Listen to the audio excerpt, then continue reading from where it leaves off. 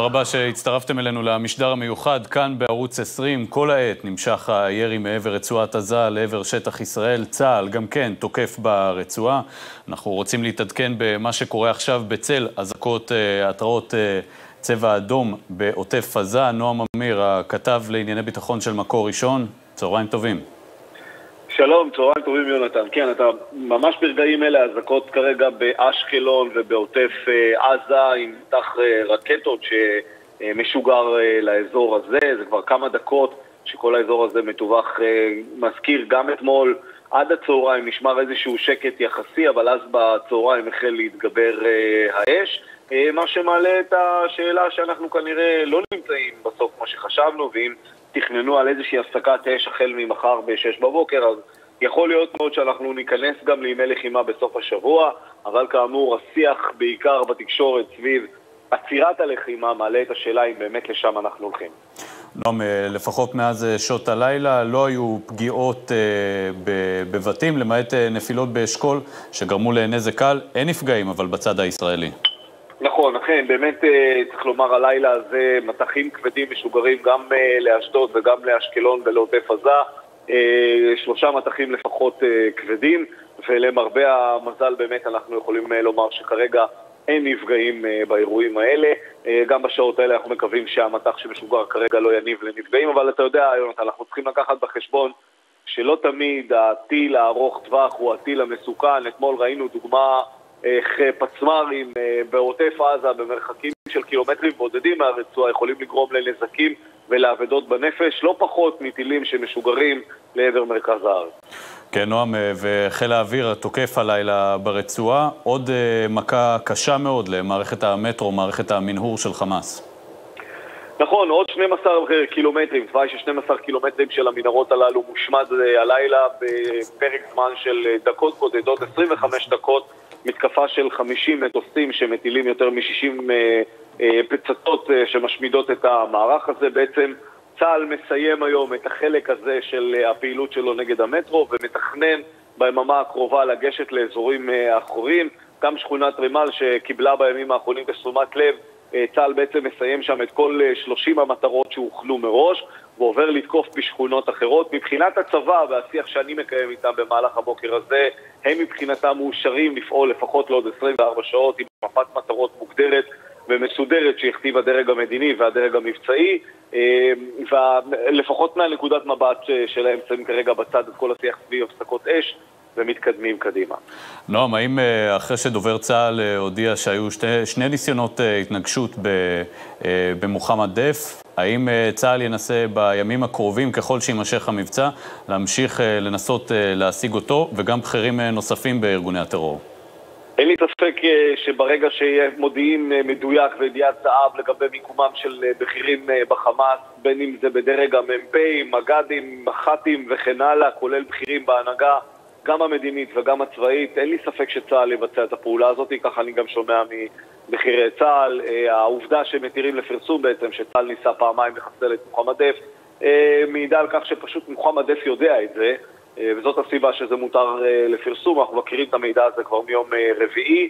היה עוד איזשהו ניסיון בסוף השבוע, אולי בכל זאת להגיע אליו ולחסל אותו, אבל גם בסוף השבוע לא מצליחים, ולכן בעצם מתירים לפרסום את עצם העובדה. אבל uh, uh, מי שצריך לשמוע בעיקר ולהדהד אצלו הפרסום הזה הוא כמובן מוחמד דף עצמו, שמבין כנראה שחייו מעל פני אדמה הסתיימו. טוב, אז כמו שזה נראה, כרגע פנינו לא לסיום סבב הלחימה הזה. נועם אמיר, כתב לענייני צבא וביטחון, מקור ראשון, תודה רבה לך על העדכון הזה. תודה לכם. אה, נמצא איתנו באולפן אה, תת-אלוף אה, אמיר אביבי, יושב ראש הביטחוניסטים, שלום לך. שלום רב. טוב, בואו נדבר רגע על מוחמד דף, דובר צה"ל מודיע על שני ניסיונות החיסול שכשלו. נראה שגם לפי מה שנועם אומר, שצה"ל ימשיך לנסות להשיג אותו, אבל למה בעצם הצבא מפרסם את זה שהיו ניסיונות חיסול? האם זה איזשהו מנגנון הרתעתי כלפי חמאס? אתה שואל אותי, אני לא דובר צה"ל, אני מנכ"ל הביטחוניסטים. אני לא בטוח שהייתי מפרסם את זה, אבל אני חושב ש... אני חושב שהצבא מעביר פה מסר אה, להנהגת החמאס, וזה מסר נכון, אתם כולכם בני מוות.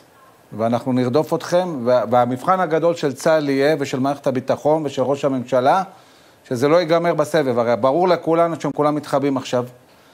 ברור לכולנו שכנראה האירוע הזה יסתיים שלא כולם נפגעו, ואולי, אני לא יודע עוד כמה בכירים יצליחו לפגוע עד שבאמת ייכנסו לאיזשהו שלב אה, של רגיעה. אנחנו, גם אחרי שהאירוע הזה מסתיים, צריכים לסיים את האירוע פתוח, לא צריך הפסקת אש, לא צריך הסכמות, לא צריך הסדרות.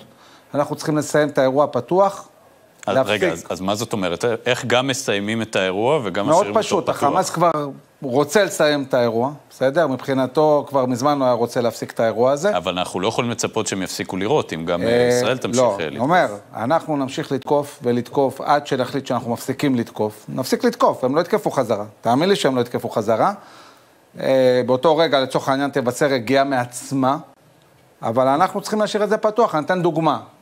בסוריה, הכל פתוח. כשאנחנו רוצים לתקוף שם, אנחנו תוקפים, אנחנו תוקפים המון. גם בעזה צריך להעביר משוואה חדשה, שבעצם יש לה שני מרכיבים. אחד היא פתוחה. רק אה, נעדכן כרגע על אזעקות אה, צבע אדום בעוטף עזה. כן, אני תכף כן. אתייחס לזה, כי זה מאוד מאוד חשוב. אנחנו צריכים לגשת לגישה חדשה שמשאירה את עזה פתוחה, להמשיך לצוד את הראשים האלה, כי בסופו של דבר צריך להבין מי זה האנשים האלה. יש איזו נטייה לחשוב שבעזה כל הזמן נלחמים איתנו, יורים בנו וזה, כי הם מסכנים, כי, כי אין להם עתיד, כי אין להם מה לעשות. זה חוסר הבנה בסיסי של מה שקורה ברצועה. ברצועה יש סטארט-אפ. יש סטארט-אפ של מחבלים בכירים, שיש להם מיליוני דולרים בחשבונות בנק, שטסים במטוסים פרטיים, שגרים בווילות מפוארות, הם עושים כסף מטרור, הם לא רוצים למות, הם, אין להם בעיה לשלוח את כל העם שלהם למות, לתת גרושים לכמה אנשים כדי שיראו, וזה אותם אנשים שאנחנו הורגים. כל המסכנים האלה. אז, אז מיד אני אמשיך עם הדברים האלה שלך. אתה בעצם אומר שחייבים להמשיך לאיים על בכירי ארגון הטרור חמאס, כל ההנהגה הזאת, צריך לחסל אותה. לחסל אותה ולקבוע אה, בעצם משוואה חדשה. אחד, זה פתוח, שאנחנו נראה התעצמות נתקוף. שתיים, כל מנהיג שילך בכיוון של התעצמות, או, או לצורך העניין ירי על ישראל, גם בלונים, מה שזה לא יהיה, ירד. עכשיו תראה את אה, נסראללה, נסראללה יושב אז רגע, אמיר, ברשותך, שנים, ברשותך מיד, פוחד למות, מ- לא יורד. מיד נבין את ההשלכות של הצעד הזה שאתה כן. מציע עכשיו. אנחנו רוצים לעבור עכשיו אה, לאשקלון, שם נמצא כתבנו הלל ביטון רוזן, בשדרות, סליחה. שלום הלל. שלום, שלום, אה, יונתן. כן, אז... בוקר, צהריים טובים לך. צהריים טובים. כן, אז עכשיו גם כן שורה של אזעקות צבע אדום בעוטף. בוא תתאר לנו מה קורה עכשיו בשדרות. אז אני יכול אה, לדווח לך שאנחנו נמצאים אה, באותו מרכז מסחרי, אותו אנחנו מלווים אה, בעשרת ימי הלחימה האחרונים. יותר עסקים פתוחים היום, יותר אנשים פוקדים אותו, ועושה רושם שכפי שלמדנו לחיות לצד הקורונה, אנשים כאן שמתורגלים היטב בשגרת לחימה, לומדים לחיות גם לצד אותה, אותו מבצע. אה, שומר החומות, אז בהחלט מעודד לראות עוד ועוד אה, חנויות אה, נפתחות, חנויות שלא היו פתוחות כאן. בתחילת המבצע. עדכון מהזירה המדינית שאני יכול כרגע לתת לך ולצופים.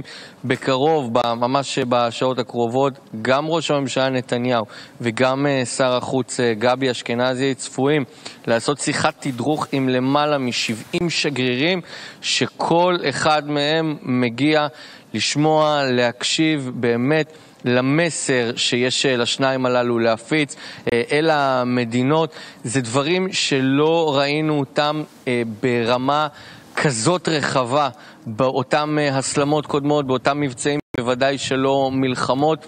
הפעם הזירה המדינית, גם משרד החוץ וגם כמובן ראש הממשלה, עובדים במרץ על הסברה בצורה מיטבית, ואנחנו רואים את האימפקט למה, שזה יוצר, גם בקרב האיחוד האירופי. למה, האם עד עכשיו היה קושי הסברתי מצד מדינת ישראל את המבצע הזה למדינות העולם? אז זאת בדיוק הנקודה שכרגע אנחנו רואים מעבר לעבודה המצוינת של כוחותינו ברמה הצבאית, אנחנו רואים עבודה בהחלט מעוררת התפעלות גם של משרד החוץ וגם של משרד ראש הממשלה, בכל מה שקשור אה, לטיפול, להסברה, גם של השגריר אה, גלעד ארדן אה, בוושינגטון אה, ובאו"ם, מצליחים לטרפד כל יוזמה אה, שבעצם משמעותה לסנדל את המשך אה, פעילותו של צבא ההגנה לישראל, ודאי אה, ברצועת עזה, ועצם העובדה שאתם כרגע יושבים אה, באולפן ושומעים את הדיווח גם של נועם אמיר וגם של אה, אביבי על כך שצה"ל צפוי להמשיך ולהילחם למטרות נוספות, אנחנו כבר בשלב חמישי, שלב ה' כפי שדובר צה"ל אה, הגדיר אותו, זה אומר שיש לנו אשראי בינלאומי, בין אם אנחנו זקוקים לו כן או לא, אה, את זה נשאיר אה, לימים אחרים, אבל זאת כרגע הסיטואציה. יש אור ירוק לצבא ההגנה לישראל, למדינת ישראל, להמשיך ולתקוף את ארגון הטרור הרצחני חמאס, וזה הרבה בגלל עבודה מדינית משמעותית שקורית כן, מהיום שהתחיל המבצע גם ונמשך כל כתבנו העת. לענייני התיישבות, שריה ארוש, שריה. הלל, ברמה המדינית, יכול להיות שאולי נפל האסימון אה, ברחבי העולם על המצב כמו שהוא? זאת אומרת, אולי אה, מדינות אחרות אומרות, תראה, בסוף... כן, כן, תמשיך. בסופו של דבר, אה, שריה, כמובן שאלה אה, מצוינת. אני חושב שמאז ומעולם היה ברור אה, למעצמות העולם אה, שהיהודים סופגים טרור אה, גם בארצם, ויש הבדל קטן משמעותי.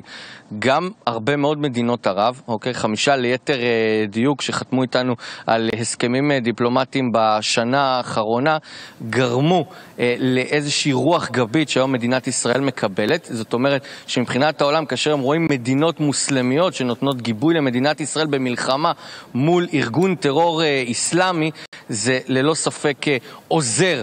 בכל מה שקשור להסברה מדינית.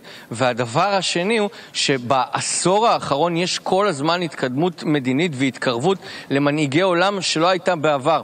אם אנחנו זוכרים בימי לחימה ראשונים איזשהו אה, גיבוי במרכאות מתוך רחמים כלפי מדינת ישראל, שהיו נפגעים כאן קורבנות אה, רבים חפים מפשע, היום זה באמת גם מהערכה לממשלת ישראל וודאי של העומד בראשה, וגם בגלל שורה של הישגים מדיניים שאנחנו הצלחנו לתת לעולם, אם זה מדינות כמו הודו, הונגריה כן. וכדומה, שממש בשבועות האחרונים מדינת ישראל העניקה להם סיוע שלא יסולא בפז על כל מה שקשור גם להתמודדות עם אה, נגיף הקורונה רוזן, וגם אה, בהרבה היבטים. נוספים. תודה רבה לך, אנחנו נשוב להתעדכן איתך בהמשך אה, משדרות. אה, אמיר, אנחנו שומעים את הדברים האלה של הלל, גם התדרוך שיקיימו ראש הממשלה ושר הביטחון. אז בהמשך אה, לדברים שלך, האם ישראל צריכה גם להיאבק בזירה המדינית עכשיו, להסביר את הפעולות שהיא עושה? כי אם אה, נלך לפי הדרך שאתה מתאר, שנשאיר את המבצע הזה פתוח, כנראה שבעולם אנחנו ניראה בזרקור לא כל כך חיובי. קודם כל, התפקיד של ממשלת ישראל ושל מערכת הביטחון זה להגן על התושבים. בסוף השאלה שאני שואל את עצמי, קודם כל כ... כאיש ביטחון, מה צריך בשביל להגן על התושבים? מדינת ישראל יש לה מחויבות. ומדינת ישראל, שהיא רוצה, יודעת להסביר את זה טוב מאוד. אה, ראש הממשלה יודע, לדוגמה, כשלצורך העניין ארצות הברית, כן, נשיא ארצות הברית, אה, אובמה, הולך לכיוון של הסכם אה, גרעין, ואנחנו חושבים שזה פוגע בביטחון ישראל, גם ללכת לקונגרס ולדבר עם שני בתי הקונגרס על הראש של אובמה, בסדר? אנחנו, שאנחנו רוצים להעביר מסר, אנחנו יודעים לעשות את זה. אף אחד לא יכול להסכים לזה שיש לנו פה ארגון טרור שיורה על אזרחי ישראל, שורף את השדות, יורה מרגמות וכו'. אז אני חושב שאפשר להסביר את זה, זה לא כזה מסובך. אה, אנחנו צריכים לסכל התעצמות, אנחנו צריכים לסכל את הבכירים, ולכן אני אומר, הצ'ק הזה צריך להישאר פתוח. מסר לעוטף מאוד מאוד חשוב, אני אמרתי אתמול בבוקר, גם בצוק איתן, כשהם התחילו לרדת ביכולת הרקטית שלהם, הם התחילו להפעיל מסה של מרגמות 120 מילימטר, אלה מרגמות קטלניות, מדויקות, לטווחים של עד עשרה קילומטר, הם בעצם מכסים את העוטף. והבעיה עם הסיפור הזה... אין מענה ביטחוני לאותן אה, מרגמות. אני לא אומר שאין מענה ביטחוני, מאוד מאוד השתפרנו בזה. גם, ב, ב, גם אחרי שהם יורים לזהות את החוליה ולהשמיד אותה, וגם היום כיפת ברזל יודעת להתמודד עם המרגמה, אבל, וזה אבל גדול, המעוף של המרגמה הזאת הוא בערך 15 שניות, לפעמים פחות, האזעקה, ישמעו אותה אחרי שהמרגמה נפלה. ולכן האזעקה פה לא תיתן מענה. אנשים ביומיים, שלושה הקרובים חייבים להיות צמודים ל, ל, לאזורים המוגנים. דרך אגב, שלוש שעות אחרי שדיברתי על זה אתמול, נהרגו שני התאילנדים. אז אני בעיניי כרגע, יהיו מספר אחד שצריך להתייחס אליו, וכל העוטף, תגידו את זה לכולם, לכל החברים שלכם. תיזהרו מנושא המרגמות. זה, זה כרגע מבחינתי, ממה שאני מזהה, הבעיה הכי רצינית שתלווה אותנו ביום יומיים אז אמיר, מה אנחנו צריכים להשיג אה, בעזה? מה היעדים שצריך להיות לצבא, לדרג המדיני? לאן ישראל צריכה לשאוף עכשיו? אתה שואל ברמה המיידית או ארוכת הטווח? בסופו של דבר אנחנו רוצים שקט הרי, נכון? כן, אנחנו תראה, רוצים- אנחנו, אנחנו בעצם... אנחנו רוצים שלתושבי ייצרנו- הדרום יהיה שקט. גם לא לכל המדינה. לא רק אז, אז. בעצם כן. כולנו מדברים על אותה כותרת. אנחנו, אה, וזה דרך אגב אבן היסוד של הביטחון הלאומי של מדינת ישראל. אבן היסוד של הביטחון הלאומי של מדינת ישראל מתחילה במילה הרתעה. בסדר? מזה זה מתחיל. עכשיו, אנחנו צריכים להרתיע לא רק את עזה, אנחנו צריכים להרתיע את האיראנים, אנחנו צריכים להרתיע את הזירה הצפונית, שדרך אגב אנחנו רואים אותה באיזשהו סוג של אה, התחממות. וכמובן, אנחנו צריכים להרתיע גם את מה שקורה פה בתוך, אה, בתוך ישראל. אני אומר, איך נשיג הרתעה? אנחנו צריכים למקד את כל התשומת לב שלנו על המנהיגים, כי הם למות לא רוצים. ואם הם ידעו שהמשמעות המיידית של ירי על ישראל זה הם, לא, לא הפעילים שלהם בעדיפות ולא החבר'ה שם למטה, אלא המנהיגים עצמם, וזה צ'ק פתוח גם, אנחנו לא נודיע להם מתי, לא נגיד כלום, לא צריך לדבר בכלל. רק שצריך שזה יהיה באוויר. זרקתם בלונים, יריתם רקטה על שדרות, עשיתם ככה, חכו. לא צריך אה, להתרגש. שבוע, שבועיים נסגור עליכם מעגל, תלכו לעולם הבא, יבוא המנהיג הבא, אבל המסר יהיה אותו מסר. ואתה באמת מאמין שלא תהיה תגובה מצד חמאס? לא אמרתי שלא יהיה? שיראו. אני אומר, מה יש לנו כבר להפסיד? ירו עלינו שלושת אלפים רקטות. אנחנו במשך שבע, שמונה שנים מאתרגים את המנהיגים האלה. אתה יודע, זה מגיע לרמת אבסורד, שעושים הפגנה על הגדר בעזה. מגיע יחיא סינואר בכבודו בעצמו, עם ילד על היד, 50 מטר מהגדר. אנחנו הכל עם צלפים וזה, יכולנו להוריד אותו עשר פעמים, כן? ולמה הוא מרגיש כזה ביטחון? הוא אומר, אני בעצם יכול לעשות מה שאני רוצה למדינת ישראל, והם לא עשו לי כלום. זה מה שקורה שנים. המשוואה הזאת איבדה רלוונטיות. אמיר, יכול להיות שהיינו צריכים להתחיל את המבצע הזה, ואולי אפילו לפני המבצע הזה, כבר אז, להתנקש באותם בכירים? תראה, המצ... המבצע הזה נגררנו אליו, בסדר? אנחנו למה לא- ישראל לא נגררה. עליו? למה אנחנו לא יזמנו אותו? שאלה טובה. עכשיו, אנחנו כל הזמן קונים זמן. עכשיו, בסוף אתה קונה זמן, הם מתעצמים, מתעצמים, מתעצמים, בס- בסוף עם, עם, עם עשרות אלפי רקטות וזה. אנחנו מבינים שהשיטה הזאת של לקנות זמן לאורך זמן, בסוף מתישהו זה מתפוצץ לך בפנים. הם לא בונים את כל היכולת הזאת בשביל להשאיר אותה במחסנים. הם בונים את היכולת הזאת כדי לירות עלינו.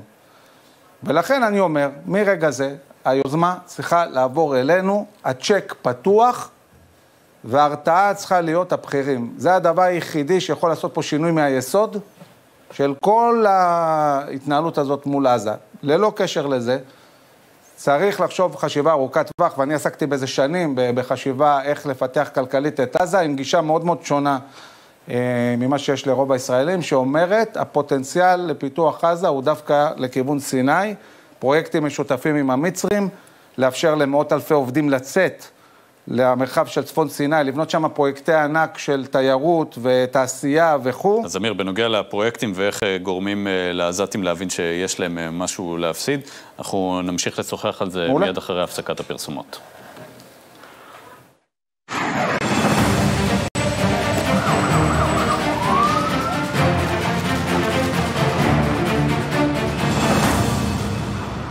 ערוץ 20, חזרנו כאן למשדר המיוחד, ומצטרף אלינו אה, עקיבא ביגמן, עיתונאי ישראל היום. שלום עקיבא.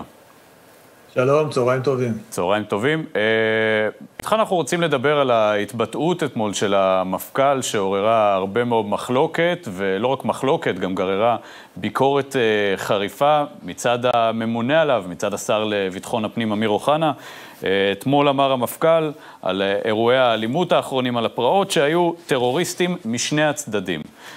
למעשה יצר איזושהי משוואה חדשה של סימטריה, וגם לך יש ביקורת אה, על המפכ"ל. כן, תראה, המפכ"ל גילה מהר מאוד את מה שגילה גם קודמו. אה, כשאתה במצוקה, כשאתה אחרי אסון כמו אסון מירון, אה, הדבר הכי קל והכי פשוט זה להדהד את המסרים של עיתון הארץ ושל התקשורת, להגיד שטרוריסטים משני הצדדים אשמים. אה, שבוע שעבר הוא דיבר על זה שאיתמר בן גביר אה, אשם במהומות או בהתפרעויות, אה, וכן הלאה וכן הלאה. ברגע שאתה מתחיל להדהד את המסרים האלה, כולם יגנו עליך ויצופפו שורות, ושימו לב, כל מה שהיה במירון וכל המחדלים הגדולים כבר שכחו למפכ"ל, והוא, יש לו כרטיס מובטח עד סוף הקדנציה, הוא מוגן תקשורתית, אף אחד לא יעז לתקוף אותו, כי הוא הציב את עצמו בצד הנכון פוליטית. המפכ"ל הזה למד את זה מהמפכ"ל הקודם, אלשיך, שאם אתם שמתם לב, יומיים אחרי האסון הגדול באום אל-חיראן, שבו נהרג שוטר ואזרח, הוא היה בפזורה הבדואית, היה לו איזשהו תדריך, והוא התחיל לדבר שם על חקירות נתניהו. ומאז המפכ"ל אלשיך הפך להיות הפרזנטור של חקירות נתניהו, והוא הוטרג בצורה שלא הוטרג אף מפכ"ל מימיו. אנחנו יודעים לזה פשוט בזמן אמת, עכשיו רואים את זה מול העיניים. לדעתי זה מדאיג מאוד. כי ברגע שהמפכ"ל מתחיל לשרת למעשה... עקיבא, אבל איך זה קורה? הרי גם... אבל הרי שבתאי הוא מינוי שאושר על ידי השר אמיר אוחנה. אז איך זה שוב... שוב, אמור שנית? אני אומר, איך זה שוב קורה שהמפכ"ל, שהמינוי שלו אושר על ידי השר לביטחון הפנים, הייתה גם הבחירה המועדפת עליו, איך זה שוב קורה שהמפכ"ל אה, בעצם פותח חזית אולי נגד הפוליטיקאים? כן, תראה, השר אוחנה כשל השבוע בצורה מאוד עמוקה, פרסמתי זה הבוקר גם טור באתר ישראל היום. הוא כמעט, הוא לא, הוא לא היה נוכח משום בחינה מהותית בשטח, הוא לא התבטא בימים הראשונים, הוא לא מסגר את האירועים, הוא לא נתן אה, אה, הופעה מנהיגותית, הוא נגרר, אה, מסתובב אחרי המפכ"ל, חותם על ניירות, מצהיר הצהרות, נמצא בכל מיני ישיבות וכינוסים. הוא לא אה, נהג כמנהיג פה, והוא יצר ואקום. בוואקום הזה המפכ"ל אה, פעל בעצם לבד לנהל את המשבר התקשורתי, והנה התוצאה, הוא גילה מהר מאוד אה, איך עובדים, איך מנהלים משבר תקשורתי, מטנפים על הימין והכל בסדר. אז המפכ"ל גילה את הסוד, והשר אוחנה פה לדעתי פישל בענק בשבוע הזה. הוא בעצם הפקיר את הזירה, הוא הפקיר גם את המפכ"ל שלו וגם את השוטרים. בעצם הוא הפקיר, הייתי מגדיר את זה ככה, הוא, הוא הפקיר את המסגור של האירועים לידי, לידי התקשורת והשמאל, ואין פלא שהמפכ"ל נכנע לכך, מה, מה אפשר לצפות? והקריאה לדעתך של חבר הכנסת בצלאל סמוטריץ', יושב ראש הציונות הדתית, להדיח את המפכ"ל שבתאי מתפקידו, היא קריאה שהיא במקום, במיוחד בזמנים המאוד רגישים האלה שאנחנו נמצאים בהם? כן, לדעתי כן, כי אפשר להגיד שהזמנים רגישים כשאיש שירות הביטחון אה, ממלא את תפקידו ומבצע את תפקידו ושומר על הביטחון, אז אתה אומר, אנחנו נמתין עם ביקורות לימים שקטים, לימים אחרים, אבל אה, כרגע המפכ"ל לא, לא ממלא את תפקידו, הוא, הוא, הוא, הוא, הוא לא עושה את תפקידו, הוא לא, הוא לא מביא ביטחון, הוא לא מספק ביטחון, הוא לא מצליח להשתלט על המהומות, והקביעות האלה של טרוריסטים בשני הצדדים, ושתפקיד המשטרה אה, הוא רק להפריד בין הניצים, הוא, הוא למעשה מודה בכישלון. המשטרה, לפי התיאור שלו עצמו, אה, בלוד, לא ניסתה להשליט את הסדר, לא ניסתה, לא ניסתה אה, ללכוד את הפורעים, היא ניסתה להפריד בין הניצים. איכשהו אה, לשמור על, אה, על, על הסכסוך בעצימות נמוכה בין שני הצדדים הסימטריים של היהודים והערבים. זה כישלון מוחלט של המפכ"ל, לדעתי, לא רק שלא צריך להמתין לסוף האירועים כדי להחליף אותו, אני חושב שייתכן שהאירועים האלה גם לא ייגמרו אם לא יחליפו אותו. אז כי אז איך מישהו במשטרת ישראל המפכ"ל היה חייב לשנות דיסקט ה... בצורה עקיבא. יסודית. איך לשיטתך המפכ"ל היה צריך להציג את האירועים האלה בצורה שגם הוא יוכל אה, להנמיך את גובה הלהבות, ומצד שני כן להציג את הדברים כפי שהם? אז אלו מהומות לאומניות שמוביל אותם אה, מיעוט בקרב אוכלוסייה ערבית בישראל. המיעוט הזה פוגע גם בערבים וגם ביהודים, וכולנו צריכים ביחד להילחם בו כדי להוכיח, כמובן, שזה מיעוט קיצוני ולא מייצג את אה, מרבית האוכלוסייה. אני חושב שמסר כזה, זה מסר שהוא גם, אה, נקרא לו מפייס, זה מסר ממלכתי, אבל הוא מסר אמיתי, והוא לא חוטא לאמת, והוא לא מטשטש את האמת. ערביי ישראל אה, שרוצים להיות שותפים במדינה, צריכים להיות שותפים עקיבא, למסר כזה. נמצא איתנו באולפן גם תת-אלוף במילואים את אמיר אביבי, פשוט. רוצה להפנות אליך שאלה. כן, אני, דרך אגב, כן. אני, אני מציע לתת טיפה יותר חבל למפכ"ל. אני מאוד מאוד לא אהבתי את מה שהוא אמר, בלשון המעטה. אני לא יודע, אני חושב שהייעוץ התקשורתי שלו הוא לא מי יודע מה. תראה, המפכ"ל הזה הוא לוחם רציני, אבל אני מכיר אותו ברמה האישית, אני חושב שהלב שלו הוא במקום הנכון. הבן אדם הזה רוצה לעבוד. אני חושב שמציידים אותו במסרים לא רלוונטיים, ואני הייתי, הטיפ שלי למפכ"ל, תקשיב, תקשיב ללב שלך, תקשיב לערכים שלך, אתה לוחם רציני, היית מפקד מג"ב, לחמת בשטח, אתה יודע על מה מדובר. דבר עם הלב, דבר, אל, אל ת, ת, תיקח כל מיני דברים שכותבים לך יועצים ש, שבאמת באמת בינם לבין חיבור לעם ישראל אין כלום. ודבר שני, אני רוצה להגיד, תראו, יש פה אירוע בסדר גודל שלא נראה כמותו מ-48. הפרעות האלה זה, זה משהו מטורף. לוקח בדרך כלל כמה ימים להתעשת ולהתחיל להפגין אה, אפקטיביות מבצעית. ואני חושב, ממה שאני ראיתי בשטח, ביקרתי בלוד ודיברתי שם עם התושבים וראיתי איך האפקטיביות גם של השב"כ, גם של המשטרה, גם החיבור לאזרחים, גם סגירות מעגל אה, מהירות אה, על גבי שינויים, אה, מתחילים להשתפר. אנחנו, אזרחי ישראל, אנחנו צריכים לתת גב למשטרת ישראל, אנחנו צריכים לתת גב למג"ב, זה, זה האנשים שלנו, זה הילדים שלנו, זה הלוחמים שלנו, ולתת להם לעבוד. אני בטוח שהמפכ"ל הפנים את האירוע הזה, ואני אומר, תתחבר ללב שלך, אתה לוחם, תעשה, דבר כמו לוחם, אל תדבר כמו דיפלומט. כן, אמיר, תודה על הדברים האלה. עקיבא ביגמן, ישראל היום, תודה גם uh, לך uh, על הדרך שבה תיארת לנו את הדברים. Uh, ואנחנו נעבור עכשיו uh, לכתבנו אברהם בלוך. שלום אברהם. שלום וברכה. Uh, כן, אנחנו מדברים uh, כרגע גל על, מעצרים uh, בנגב, גל כן. גל מעצרים, אכן. מחוז דרום במשטרה מדווח על כך שבימים האחרונים הוא ביצע מעצר של uh, 225 פורעים ערבים מהנגב. נגד 33 מהעצורים הוגשו כבר כתבי אישום, נגד 25 נוספים הוגשו הצהרת תובע לקראת הגשת כתב אישום ובבקשה למעצר עד תום ההליכים. חקירות נוספות נמצאות בליווי הפרקליטות כרגע. Uh, בימים הקרובים צפויים להיות מוגשים כתבי אישום נוספים בחקירות הנוספות. על עשרות כתבי אישום, 33. Uh, כמה לדעתך מהם uh, יבשילו בסופו של דבר גם להרשעה? או שבסוף אה, יש עכשיו הרבה רעש וזה יתמסמס? תראה, השאלה היא מה זה, מה, מה, מה יהיה העונש. לדעתי הרשעה כן תהיה, מכיוון שזה מאוד פשוט. רוב הפרעות הללו הן אה, מאוד מאוד אה, מתועדות בצורה טובה מאוד, זה גם מה שעוזר לכוחות הביטחון ללכוד את הפורעים, שהם מתעדים את עצמם. זה, זה דבר חשוב שהם מתעדים את עצמם, כי זה עוזר בעצם אה, לכוחות הביטחון. אה, אני מאמין שכן יכולה, יכולות להיות פה הרשעות, השאלה היא איזה עונש יהיה כאן. אה, האם אה, ינסו להקל עם הפורעים, אה, יראו שיש כאן איזשהו גל וינסו לטאטא אותו מתחת לשטיח, או שיבינו שיש כאן אירוע אבי, אבי, זה, זה סריה, אני רוצה להתחבר בדיוק למשפט שאמרת עכשיו. האם המצב במדינה ישפיע על uh, כתב האישום והתהליך? זאת אומרת, תבוא בית המשפט ויגיד, אתם בחרתם להתפרע בזמן שכל המדינה בוערת, אנחנו נחמיר או נקל איתכם בגלל הנסיבות המקלות או מחמירות? זהו, אני מאוד מקווה שהנסיבות הללו יהיו נסיבות מחמירות דווקא, ולא נסיבות uh, מקלות. אבל כפי שאנחנו מכירים את מערכת המשפט שלנו, אנחנו יכולים לראות הפתעות. כאשר המדינה נמצאת, אגב, אה, מי שראה את כתבי האישום שהוגשו עד עכשיו, החלק הכללי, אה, שזה החלק אה, הראשוני בכתב האישום, נפתח בכך שמדינת ישראל נמצאת תחת התקפה. אנחנו לא נמצאים בזמן רגיל. ונקווה שבית המשפט ייקח את זה תחת שיקול דעתו, שכל אחת ואחת מהפרעות האלה, כל אחד ואחד מהפורעים הללו, סייע בעצם לחמאס במהלך התפרוי, במהלך מלחמה בעצם. כן. אה, אברהם בלוך, אה, תודה רבה לך על העדכון הזה. כל טוב.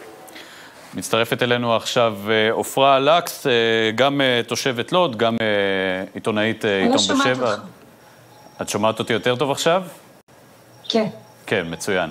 אה, אוקיי, עופרה, אני רוצה לדבר איתך. דיברנו עכשיו על אה, כתבי אישום אה, שמוגשים נגד מתפרעים ופורעים בנגב, והמצב בלוד בימים ובשבועות האחרונים היה גם כן מצב קטסטרופלי. אם תוכלי לתאר לנו מה קרה בלילה הזה, האם בימים האחרונים אנחנו רואים אולי איזושהי רגיעה? אה, אני אגיד לכם, רואים הרבה הרבה פחות, כן, אין, אין מה להשוות, אבל השאלה אם יש לנו שקט או יש לנו ביטחון. ואני חושבת שצריך להבדיל בין שני הדברים. שקט יש יחסית, זאת אומרת, זה לא שלא ירו הלילה זיקוקים, זה לא שלא הניפו דגלי פלסטין, היה גם הנפת דגל כזאת, אבל זה לא יריות שהיו ברחוב קודם, נכון? אבל השאלה היא, בעיניי, האם יהודים יכולים ללכת ברחוב אה, ולהרגיש בטוחים? האם אה, יהודים יכולים אה, ללכת ברחוב ללא ליווי חמוש? והתשובה היא לא. ועד שאנחנו לא מגיעים למצב הזה, שבו יהודים יכולים ללכת בארצם, באמת, לא באיזשהו... אה, אה, התיישבות בתוך כפר ערבי או משהו כזה, עדיין, גם הבוקר את מרגישה שיהודים לא יכולים ללכת ללא ליווי חמוש בלוד? אני לא צריכה להרגיש, זאת עובדה. בבקרים יותר קל ויותר נוח, גם אני מסתובבת בבקרים, למרות שאני חייבת להגיד לך שאתמול אה, עברתי עם איזה צוות צילום אה, ברחוב, והטכנאי אמר פתאום לכתבת, חמודה, אני לא ממשיך מפה, אין פה מג"בניקים, אני לא ממשיך. אז זה, זה אפילו לא... זאת אומרת, מי שחווה את לוד בלילות האחרונים, הוא מבין שמה שקורה פה זה איזושהי אשליה. אה, יש שקט, אבל, אבל מה קורה מתחת לשקט הזה? האם התשתיות אה, הטרור שגילינו טופלו? האם יש מעצרים? האם יש החרמת נשקים? האם האימאם אה, של עוד נעצר על הסתה? האם דברים טופלו? כי, כי בסוף בסוף אנחנו לא צריכים שקט. שקט זה איזשהו, כמו הפסקת אש, זה משהו ראשוני. אנחנו צריכים משהו הרבה יותר עמוק, אנחנו צריכים ביטחון. וביטחון אין. הביטחון הזה, התחושה הזאת של הביטחון שאין, את חושבת שהיא תשוב אם גם אה, ישוב הדו-קיום בעיר, או שאת לא רואה גם את זה קורה? תראה, דו-קיום זה איזשהו אה, ביטוי ככה מאוד חמקמק, אה, ואני לא אוהבת לדבר בו כי זאת סיסמה. מה שצריך לעשות, דבר ראשון, זה ש... שעדיין כוחות מג"ב יישארו בשכונה. הם יעניקו איזשהו ביטחון. דבר שני, צריך לעשות טיפול שורש, עם שב"כ, עם מעצרים, עם איסוף נשקים, כן, זה, זה הדבר השני. דבר שלישי, הייתי מצפה אה, ממנהיגי אה, אה, הציבור הערבי, במקום להוציא איזשהו מסמך שבו הם רק מהללים את, את האלימות הערבית ומוציאים רשימת דרישות שהם יגנו את האלימות הערבית. מי שרוצה דו-קיום, הביטוי הזה, כאילו מאחוריו יש הרבה דברים. לי יש שכנים פה ערבים ברחוב ליד וגם ברחוב שלי, למרות שאני לא גרה ברמת אשכול. מרקם החיים שלנו פה הוא משותף. האם האמון יחזור להיות כמו שהוא היה?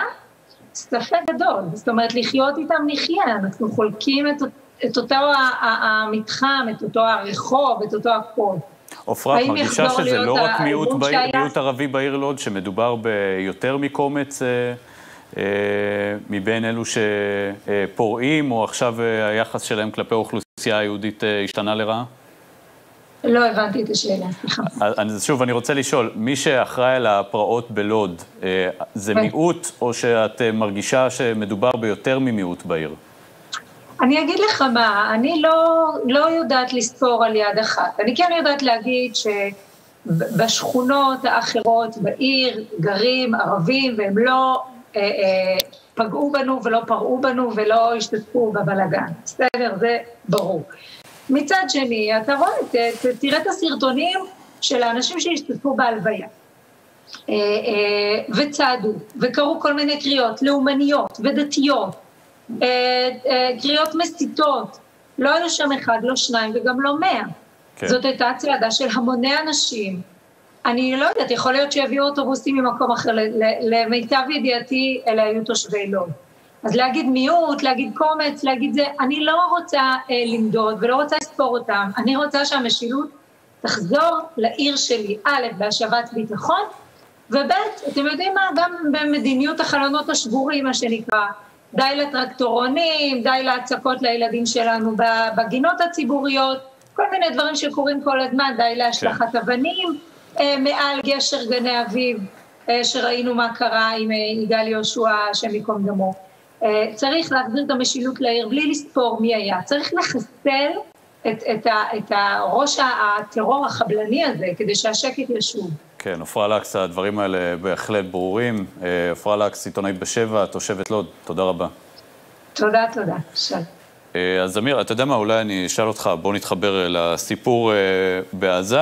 שם אנחנו יכולים אולי לחסל את ראשי ארגוני הטרור, ככה אולי להביא להרתעה ולהשיב את השקט, אבל מה עושים בערים המעורבות, בתוך ישראל?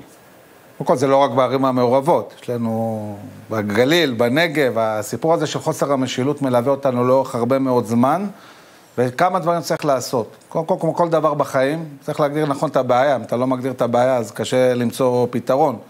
אנחנו צריכים להשאיר מבט ולהגיד את האמת, יש פה חתרנות לאומנית אסלאמיסטית שמחוברת לחמאס, שמחוברת לפת"ח.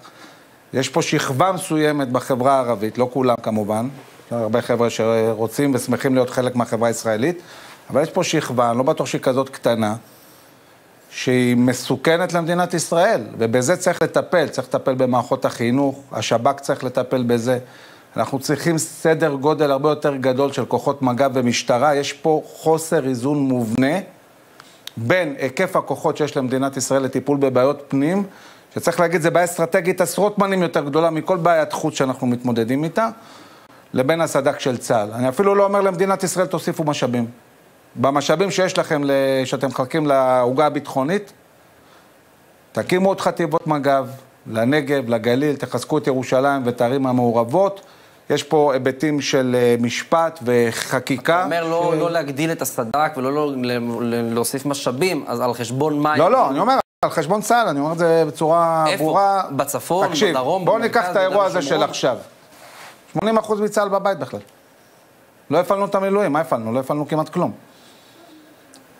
צריך באופן מובנה, גם החברה גדלה, בסדר? היום מתגייסים יותר אנשים לצבא, החברה הזאת גדלה מאוד מאוד מהר.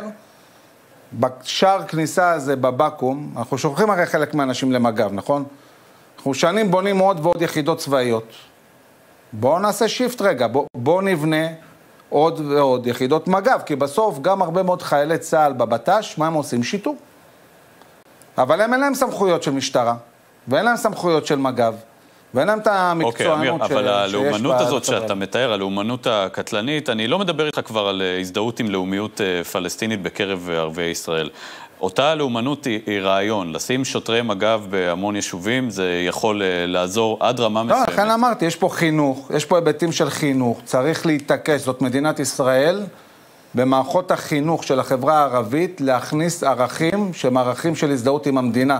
תראה, בכל מזרח ירושלים לומדים, אה, לומדים במערכים של הרשות הפלסטינית. זה בלתי נתפס, תחליטו, ירושלים מאוחדת או לא מאוחדת? איך יכול להיות שבירושלים המאוחדת לומדים עם תוכניות למידה של הרשות הפלסטינית? אז מה נראה לכם שיצא בסופו של דבר? אם כל ילד שם למדים אותו לשנוא יהודים, ושאנחנו עם כובש, ושאנחנו כולנו מתנחלים בתוך ירושלים, ודרך אגב, אני שומע מנהיגים ערבים ישראלים בפוליטיקה מדברים על יהודים בתוך ער- ערים מעורבות כמתנחלים.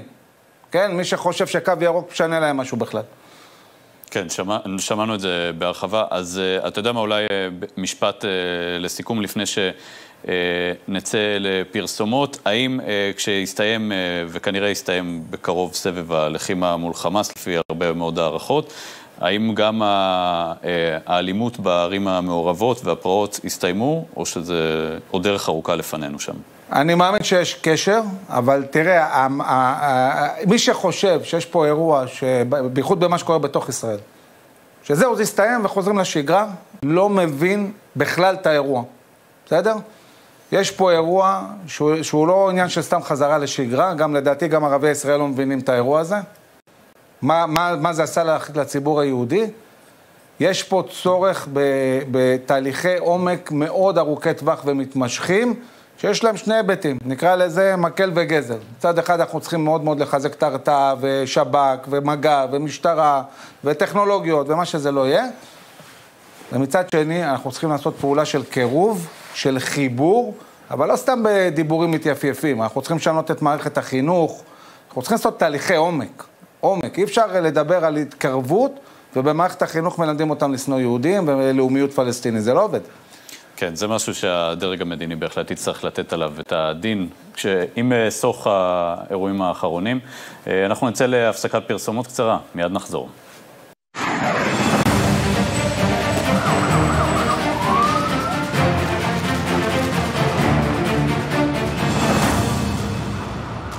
תודה רבה שחזרתם אלינו, אנחנו במשדר המיוחד כאן בערוץ 20. הרבה מאוד היבטים יש למציאות הזאת שאנחנו נמצאים בה כרגע.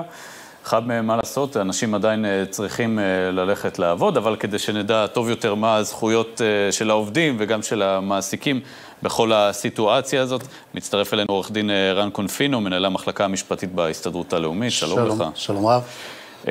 טוב, אז באנו לדבר על דיני עבודה בשעת מלחמה. אולי קודם כל נשאל, האם מה שקורה עכשיו נחשב לשעת מלחמה? האם אנחנו במלחמה, במבצע, בהפסקת אש? אנחנו לא יודעים.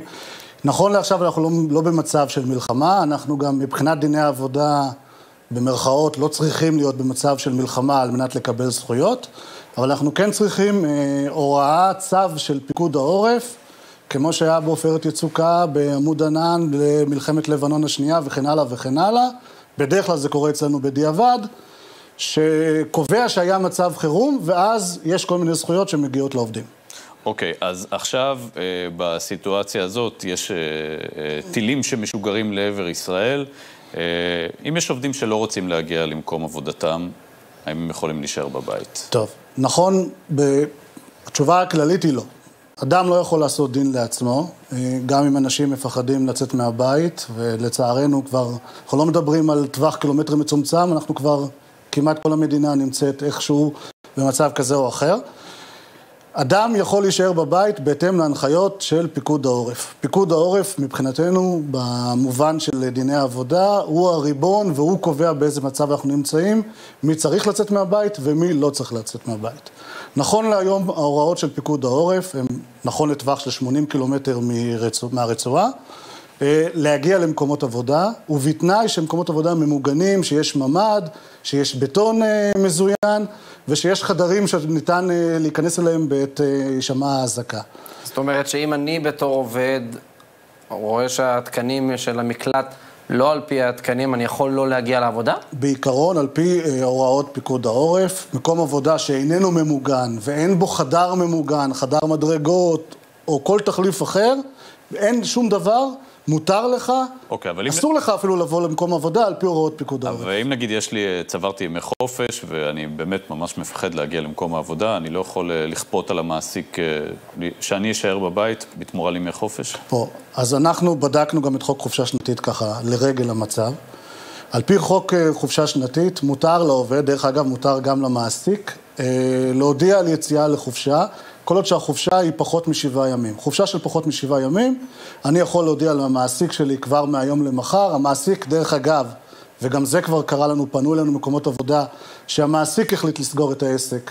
אה, אנחנו כבר לא מדברים על הטילים, אנחנו מדברים על אה, לוד, רמלה, טיפות חלב סגרו את, אה, את מקום העבודה בגלל הפרעות שם, והודיעו לעובדים מהיום למחר, המקום סגור, אתם בחופשה. כל עוד שהחופשה היא פחות משבעה ימים, זה מותר. חופשה מעל שבעה ימים. מה, מעסיק חייב לקבל בקשה שלי לצאת לחופשה? במצב דברים... אני רוצה דברים... לצאת לשישה ימים עכשיו? במצב דברים לצאת. כזה, כל עוד שמקום העבודה שלך איננו מוגדר כמקום עבודה חיוני, אם תרצה ניגע בהגדרות, אבל כל שמקום העבודה שלך הוא מקום עבודה רגיל... אני ואתה צריכים אה, להישאר, אנחנו לא יכולים... אתם צריכים להישאר פה 24 שעות, לא שישה ימים בשבוע. אה, כל עוד שמקום עבודה הוא לא חיוני, עובד רשאי להודיע למעסיקו שהוא מבקש לצאת לחופשה, אלא אם כן יש איזושהי מניעה מיוחדת. מה עם גני ילדים, אה, למשל, גנים פרטיים? אותו דבר, אותו, אותו דבר. הסייעת בגן הילדים הפרטי שמבקשת מהמעסיקה לצאת לחופשה, לגיטימי, ובתנאי שהיא לא פוגעת בעבודה. שוב, אנחנו אומרים, צריכים, העבודה חייבת להתנהל, כי אין לנו צו של פיקוד העורף. אני מחזיר אותנו למבצעים הקודמים, באיזשהו שלב יצאה הוראה, הנחיה של פיקוד העורף, אל, תביאו, אל תגיעו למקומות עבודה. אז זה היה, אם אני זוכר נכון, ב-40 קילומטר, אנחנו קצת התרחבנו, או בלבנון השנייה, כל אזור הצפון, היה הנחיה של פיקוד העורף לא להגיע למקומות עבודה. ואז אסור להגיע למקום עבודה, ואם תשאלו אותי על שכר, המדינה שילמה בדיעבד למקומות העבודה, ומקומות העבודה שילמו לעובדים את השכר הרגיל שלהם. שילמו הכל, כלומר, גם עכשיו מעסיקים יכולים להיות בטוחים שהם יעבירו את השכר לעובדים שלהם, שיאלצו להישאר בבית. שוב אני אומר. והמדינה תשלים להם באמת את כל הסכום? נכון להיום, עובד צריך להגיע למקום עבודתו. אין לנו הנחיה של פיקוד העורף. לא, אבל נגיד אותם מקומות אה, בטווח של עד 80 קילומטרים, שאולי אה, לא ממוגנים אה, מספיק, או אתה יודע מה, לצורך העניין, עבודות חקלאות בעוטף. אי אפשר אה, לעבוד מה שקורה, עכשיו. אנחנו אצלנו, ישראל כמו בישראל, מטפלים בדברים בדיעבד. מי שעובד בחקלאות, ואנחנו רק אתמול היינו אה, עדים למקרה כואב ומזעזע של אותם פועלים שנהרגו. אני כמובן לא הייתי מייעץ לעובד לצאת לך עכשיו לשדה ב- בעוטף עזה. אותו מעסיק, לכשיסתיים המבצע, יפנה למס רכוש, למדינה, המדינה תפצה אותו, והוא ישלם לעובדים את שכרם. אם אותו מעסיק היה פונה אליי עכשיו בזמן אמת להתייעץ, הייתי אומר לו לפחות כרגע תפדה לעובדים את ימי החופשה, ואז תתחשבן מול המדינה, ותסגור את החשבון גם מול העובד. אוקיי, אבל מה לגבי הנזקים העקיפים שיש אה, למעסיקים? הרי אנחנו יודעים שעובד שמגיע, הוא נותן תפוקה שאמורה, הוא אמור לתת יותר תפוקה מהעלות שלו. אז יש לנו הרבה, הרבה נזקים עקיפים. אה, גם אה, מקומות תיירות שמן הסתם אה, לא פעילים באזור, אה, מסעדות, אה, הסעות שעכשיו אין להם כבר עבודה. כל התביעות האלו, כל הנזקים הללו יתהוו במועד מאוחר יותר מן המדינה. בסופו של יום, מי שאמורה לשפות גם את העובדים וגם את המעסיקים ובעלי העסק זו המדינה. אתה רואה עכשיו אולי יותר נכונות של מעסיקים, במיוחד אחרי התקופה של הקורונה, שהרבה מאוד אנשים, אה, גם מעסיקים וגם אה, מועסקים, התרגלו לעבוד בבית. אתה רואה יותר נכונות של מעסיקים לאפשר לטע- את זה עכשיו? לטעמי פגעת בנקודה הכי חשובה לכולנו. שימו רגע את החוקים בצד, ואת ההוראות וההנחיות בצד. בואו נדבר בהיגיון בריא ובהיגיון פשוט, ועם קצת ערבות הדדית. אם יש משהו טוב שהקורונה לימדה אותנו, זה לא להיות מקובעים במסגרות, לא חייבים לבוא למשרד משמונה עד חמש. יש הרבה עבודות והרבה דברים שאפשר לבצע מן הבית, אם זה בתוכנות כאלו ואחרות, ואם זה דרך המחשב או דרך הטלפון הנייד. גם אצלנו אצלכם בעבודה, במשרד? גם אצלנו בעבודה, תחתיי במחלקה המשפטית בהסתדרות הלאומית, יש אה, לא מעט עורכי דין ועורכות דין, ולמרות שהעבודה מתבצעת וממשיכה כרגיל, ההנחיה היא להגיע לעבודה כרגיל, אבל אותם הורים לילדים, בסוגריים, מתחת לגיל 14 על פי החוק, שהילדים הרי משוחררים ממסגרות החינוך כי הם לא הולכים לבתי הספר, אותו הורה, אותה אימא, אותו אבא שמתקשרים אליי בבוקר ואומרים לי, אנחנו צריכים להישאר עם ילד בבית, אם הם יכולים לעבוד מהבית, אני נותן להם לעבוד מהבית. צריך לגלות עכשיו את הגמישות ואת ההתחשבות, והקורונה לימדה אותנו שזה אפשרי. כן, אה, בהחלט אה, למדנו את זה כולנו על בשרנו בקורונה. יש לך עוד שאלה? כן, ראינו אתמול, אה, זה קשור גם למצב, ראינו אתמול את השביתה הכללית שהייתה בקרב הערבים. עד כמה מהלך כזה... השביתה במגזר. אז זהו, אני כ... כמי שעוסק בדיני עבודה כבר למעלה מ-20 שנה, ובעיקר במשפט העבודה הקיבוצי, קצת מפריע לי השימוש הקל הזה במונח שביתה, ואנשים גם מפליגים ומדברים על הגנות של עובדים ששובתים וכן הלאה וכן הלאה. אז בואו נעשה סדר בדברים. מה שהיה אתמול זו לא שביתה, והיא בטח לא חוקית. שביתה במובן של דיני העבודה יכול להכריז אך ורק ארגון עובדים, בנוגע לעובדים שהוא מייצג במקום עבודה מסוים, אל מול המעסיק שלהם. ישנם מקומות שניתן לקיים שביתה שהיא נקראת בעגה המשפטית, תסלחו לי, מעין פוליטית, כשהיא מכוונת נגד הריבון, וגם היא בדרך כלל לא חוקית. מה שהיה אתמול לא הוכרז על ידי ארגון עובדים, ועדת המעקב, עם כל הכבוד או לא, היא איננה ארגון עובדים, היא איננה ארגון יציג, היא לא אפשר יכולה לומר להכריז על שהיא כן שביתה. הוכרזה נגד הריבון. היא הכריזה, היא הכריזה נגד הריבון, לכן אנחנו כבר, אצלנו כבר בביזנס של משפט העבודה הקיבוצי, אנחנו אוהבים כבר להיסחף בניתוחים. אז גם אמרנו, לו זו הייתה שביתה, גם היא לא הייתה חוקית, כי היא שביתה פוליטית, ושביתה פוליטית היא איננה חוקית בשום מקום עבודה. מה שהיה אתמול היא לא שביתה, אה, ההיעדרויות של העובדים הן היעדרויות לא מוצדקות, אין להם הגנה של החוק, שהחוק, חוק הסכמים קיבוציים, נותן לעובד ששובת שביתה אמיתית שהוכרזה על ידי ארגון עובדים. יחד עם זאת, אני חייב להגיד, כי אני בכל זאת פה בכובעי כיועץ משפטי של ארגון עובדים, ההסתדרות הלאומית, אני לא מבקר, אני לא קורא למעסיקים, אני גם לא מייעץ למעסיקים, לפטר כל עובד שלא הגיע אתמול. אבל עקרונית, אפשר לפטר אה, מישהו שנעדר עקרונית, ההיעדרות? אתמול הייתה היעדרות לא מוצדקת. התגובות שאני ראיתי ברשתות אז- החברתיות... אז על היעדרות לא מוצדקת מוגזמות. אחת אפשר לפטר או, אה, אז, אז עכשיו, אז ממש עכשיו, אה, במשפט? אז במשפט, בקצר לא, אני לא חושב שצריך או אפשר לפטר עובד על היעדרות של יום אחד בלתי מוצדקת. אני חושב, בדיוק כמו שאמרנו קודם, צריך כן לגלות רגישות, לקיים לאותו עובד הליכי משמעת אם המעסיק אה, נגרם לו איזשהו נזק, שכר העובד לא צריך לקבל על אותו יום, כי אסור היה לו להיעדר. אני לא הייתי מפטר עובדים על מה שקרה אתמול. כן, אה, עורך דין רן קונפינו, מנהל המחלקה המשפטית בהסתדרות הלאומית. תודה רבה לך שהערת לנו גם על הנושא המעניין הזה. תודה לכם, ושנדע ימים טובים יותר. בהחלט, תודה. כן. ומצטרפת אלינו עכשיו על קו הטלפון הודיה כריש חזוני, הכתבת המדינית של מקור ראשון. שלום. אז אתמול הייתה בעצם, היה דיון נוסף במועצת הביטחון של האו"ם בנוגע למלחמה, בנוגע לסבב בין ישראל לבין חמאס. שוב, לא התקבלו החלטות קונקרטיות. האם האו"ם צפוי לקבל מתישהו החלטות בנוגע ללחימה כאן? ועד כמה זה ישפיע עלינו? בינתיים, כן, בינתיים, בינתיים ארצות הברית חסמה החלטות במועצת הביטחון כנגד ישראל. החלטות צריכות להתקבל שם על ידי כל החברות, ובאמת ארצות הברית חסמה החלטות. ביום חמישי, מחר, צפוי להיות דיון בנושא בעצרת הכללית של האו"ם. עכשיו גם, ההחלטות שם הן לא ככה משהו שעובר לעשייתם, זה בעיקר עניין פורמלי, לא נעים, כל מיני הצהרות, אנחנו מביאים בדרך כלל כל מיני נאומים עמוסי שקרים כנגד ישראל וכל מיני נזיפות כאלה ואחרות. באמת בסוף הסיפור פה הוא העניין האמריקאי. ומה שאנחנו רואים עם הממשל הדמוקרטי שהיו בישראל המון המון חששות ממנו, זה שבינתיים כבר שבוע וחצי של מבצע, ביידן עומד בלחץ הפנים-מפלגתי שלו בצורה מרשימה, ככה נותן באמת תמיכה מאוד משמעותית בזכות של ישראל להגן על עצמה. זה נכון שמתחילים איזה שהם מיטוטים בנוגע ל...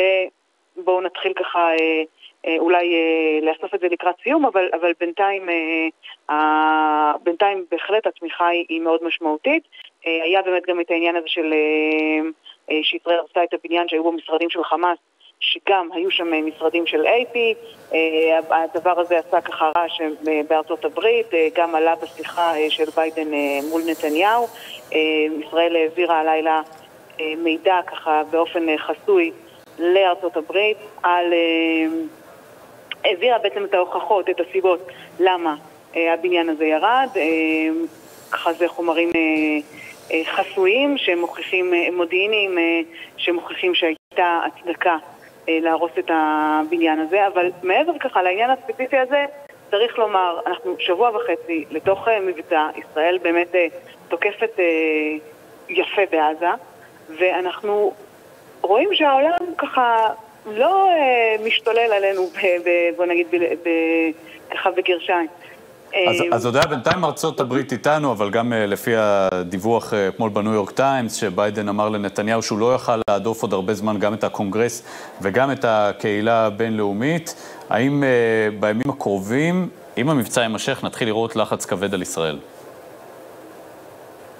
אנחנו, הלחץ כנראה יתחיל להיות יותר גובר, אבל דווקא אני חושבת שגם חשוב להדגיש את העניין הזה, שאנחנו רואים גם בתוך אירופה, יש שם הרבה קולות, כמו למשל אוסטריה, כמו למשל הונגריה, קולות מאוד משמעותיים שהם מאוד מאוד פרו-ישראלים, גם באירופה יש איזושהי תחושה שמיצינו כבר את הנושא הזה של האסלאם הקיצוני, גם שם הבינו בעצם את המשמעות שלו. ועדיין ג'וזף בורל מוציא ככה כל מיני הודעות שקוראות לצדדים להפסיק את זה מיד ולהימנע מההסלמה, אבל בהחלט יש איזו תחושה, ראינו עכשיו, הייתה, היה את הישיבה של שרי החוץ של האיחוד האירופי, שגם שם לא הצליחו להגיע להחלטה של להעביר עכשיו איזושהי צמיחה כספית משמעותית לעזה, בגלל שהם אומרים שם ככה כל כמה שנים אנחנו מעבירים סכומים מאוד מאוד גדולים מעזה, אנחנו מממנים את עזה בכספים מאוד גדולים, מאוד משמעותיים, והנה מה קורה עם זה, הם בעיקר ככה משתמשים בזה כדי להתחמש ולבנות מנהרות ולייעל את עצמם, לא כדי לשפר את החיים של האוכלוסייה. זאת אומרת, התחושה הכללית היא שזה נכון שיש את הפרוגרסיבים ויש את ההפגנות הגדולות באירופה שאנחנו רואים שחד משמעית פלסטינים מובילים אותם, אבל שיש איזושהי הבנה במערב שישראל ניצבת פה באיזושהי חזית מול אסלאם קיצוני, שגם הם סובלים מנחת זרועו, ושצריך להילחם בו. ויש עכשיו את התדרוך של נתניהו וגנץ ל-70 נציגים דיפלומטיים ממדינות העולם. האם הצעד הזה נעשה כי היה לישראל איזשהו קושי הסברתי עד כה במבצע הזה? לא, אני לא חושבת שהוא נבע מקושי, אני חושבת שהוא נבע מזה שבאמת הם ככה אולי מדי פעם שואלים שאלות, מבקשים תשובות, ויש לנו, ו, וצריך לדבר. אגב, שאלה מעניינת באמת אם, אם מי שצריך לעשות את זה ראש הממשלה, או שאולי צריך לעשות, צריך למנות אדם שיהיה ככה ממונה ופשוט ייתן מידע. אנחנו באמת חיים בעניין הזה, אפשר לומר, ישראל קצת ככה באופן הסברתי לא, לא, לא נותנת את כל. ההסברה האמיתית שלה, כי הקייס של ישראל פה הוא מאוד אמיתי, הוא מאוד נכון, יש לה מה לומר, אבל אנחנו נותנים רק לדובר צה"ל לדבר ולראש הממשלה לדבר, וחבל, זאת אומרת, אני חושבת שכל פעם שהם מדברים, אה, הטיעון, הטיעונים בהחלט בהחלט נשמעים. אה, העניין הזה שישראל מצד אחד באמת נלחמת פה מלחמה שאף מדינה מערבית לא הייתה פועלת אחרת אם היו יורים על הערים המרכזיות שלה, כן. ו- והעניין הזה שישראל פועלת בצורה מאוד מאוד כירורגית בעזה, אה, כן. הודיה, עוד אה, שחקנית מאוד בולטת עכשיו באירועים האחרונים, אה, מצרים, שגם מציעה חצי מיליארד דולר לשיקום של רצועת עזה, כמובן היא גם מציבה תנאים. אה, זה מאוד מפתיע, כיוון שבמצרים יש הרבה מאוד עוני. אז מאיפה הכסף הזה? האם יכול להיות שמדינות אחרות מנסות לבחוש עכשיו באזור? מצרים יש לה ככה איזושהי נקודת כוח של המתווכת המסורתית לסיום הסבבים האלה. אה, זו עמדת כוח שלא מוותרים עליה כל כך מהר. היא מהתחלת הסבב, אנחנו רואים אותה מציעה את שירותי התיווך שלה, גם לישראל, גם לחמאס. ומציעה הפסקות אש גם. היה- כן. נכון, ושני הצדדים אה, בינתיים אה, מסרבים. אז אה, חשוב לשמור על העמדה הזו, אה, ולכן היא באה עם ההצעות האלה. הודיה כריש חזוני, כתבת מדינית מקור ראשון, תודה רבה לך על הדברים האלה. תודה לכם. אנחנו נצא עכשיו להפסקת פרסומות קצרה, מיד חוזרים.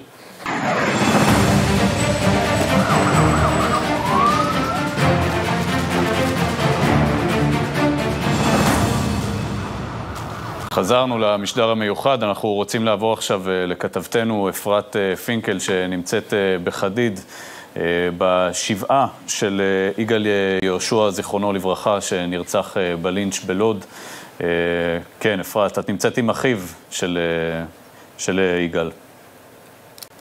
נכון, יונתן, צהריים טובים. כאן אה, ממושב חדיד בשבעה על אה, יגאל גואטה שנרצח, כמו שאמרת, על ידי פורעים, יגאל אה, יהושע, סליחה, טעות שלי, על ידי, נרצח על ידי פורעים אה, ערבים בלוד. אנחנו באמת, השבעה, יש פה אווירה קשה מאוד מצד אחד, מיוחדת מאוד מצד מצד שני, שומעים עליו סיפורים מאוד מיוחדים. אני רוצה שנשוחח עם אחיו אפי. אפי, צהריים טובים. מה שלומך בימים אלה? איך אתה מרגיש?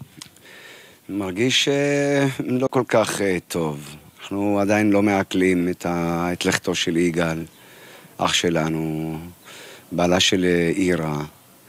מנסים, ככל שבאים אנשים, הם מחזקים מכל, מכל הארץ. זה מחמם, מחמם את הלב, אבל עדיין, עדיין לא מעכלים את, ה... את לכתו של יגאל. אני רוצה שתספר לנו קצת על יגאל, אני שמעתי פה הרבה סיפורים מיוחדים עליו, אני רוצה שתספר לצופים שלנו על הבן אדם שהוא היה. אני לא מאמין שבדקות שאני אעמוד פה אני אוכל לספר עליו, אבל יכולים לספר עליו הרבה אנשים שתמצאי אותם בתוך לוד עצמה, הן בשכונה שלו והן בכל לוד עצמה, ולא משנה מאיזה מגזר, יודעים מי זה יגאל יהושע. והיה מומלץ שתהיי שם ותראייני את אלה שמכירים אותו, כי אני בדקה אחת לא יכול להגיד לך, אבל האיש הלא נכון בזמן הלא נכון. שהגיע וחשב שלי זה לא יקרה, כשמנעתי ממנו להגיע לשם, אמרתי לו, לא כדאי לך. בכל זאת הוא אמר, לא, לי לא יקרה כלום. אני יגאל, אני אוציא רק את הראש, אני אגיד להם שאני יגאל, מכירים אותי והכל בסדר. שמעתי ממך מקודם שהוא היה מאמין אה, גדול בדו-קיום, אתם מרגישים שזה פשוט התפוצץ, הבועה הזאת פשוט התפוצצה לכולנו בפנים? הוא עבד עם ערבים, הוא העסיק ערבים, הוא קנה מערבים, כמובן מיהודים, זה באופן אה, רגיל, אבל שיתף איתם פעולה ושיתפו איתו פעולה בכל מקום, אם זה במוסך, אם זה בחנויות רכישה שהוא רכש, באוכל שהוא אכל שם, זאת אומרת, לא הייתה לו בעיה בכלל, כאילו, לא, לרגע לא חשב שמשהו יקרה לו דווקא מערבים או דווקא נניח מיהודים, אבל ממש לא. אנחנו שומעים שהוא העניק חיים לאנשים רבים שתרמו את איבריו. אחד מאיבריו נתרם לאישה ערבייה, בת 58, תושבת מזרח ירושלים. קשה לכם עם הדבר הזה? אה, עוד לפני, לפני שידענו בכלל מי, וגם לא ידענו גם רק לאחרי שפורסמו השמות, אבל כשאנחנו החלטנו והגענו להחלטה שתורמים את איבריו של יגאל, לרגע לא חשבנו שמי שלא יהיה ויקבל חיים כתוצאה מהמוות האכזרי של יגאל, אמרנו לפחות נזכה חיים חדשים לאנשים שכן זקוקים לחיים טובים. וזה, וזה היה המוטו שלנו. וכשהחלטנו, אמנם היה קצת קשה, אבל החלטנו שזו הדרך.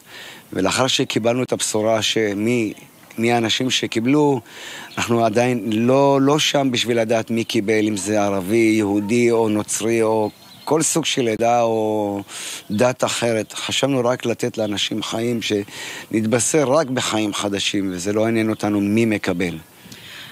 אתם באמת אה, אנשים אה, מאוד מיוחדים. אני רוצה שתיתן לי אולי אה, איזושהי אנקדוטה בולטת מהחיים של יגאל, או איזשהו סיפור שמאפיין אותו, שנוכל כולנו קצת להכיר אותו יותר.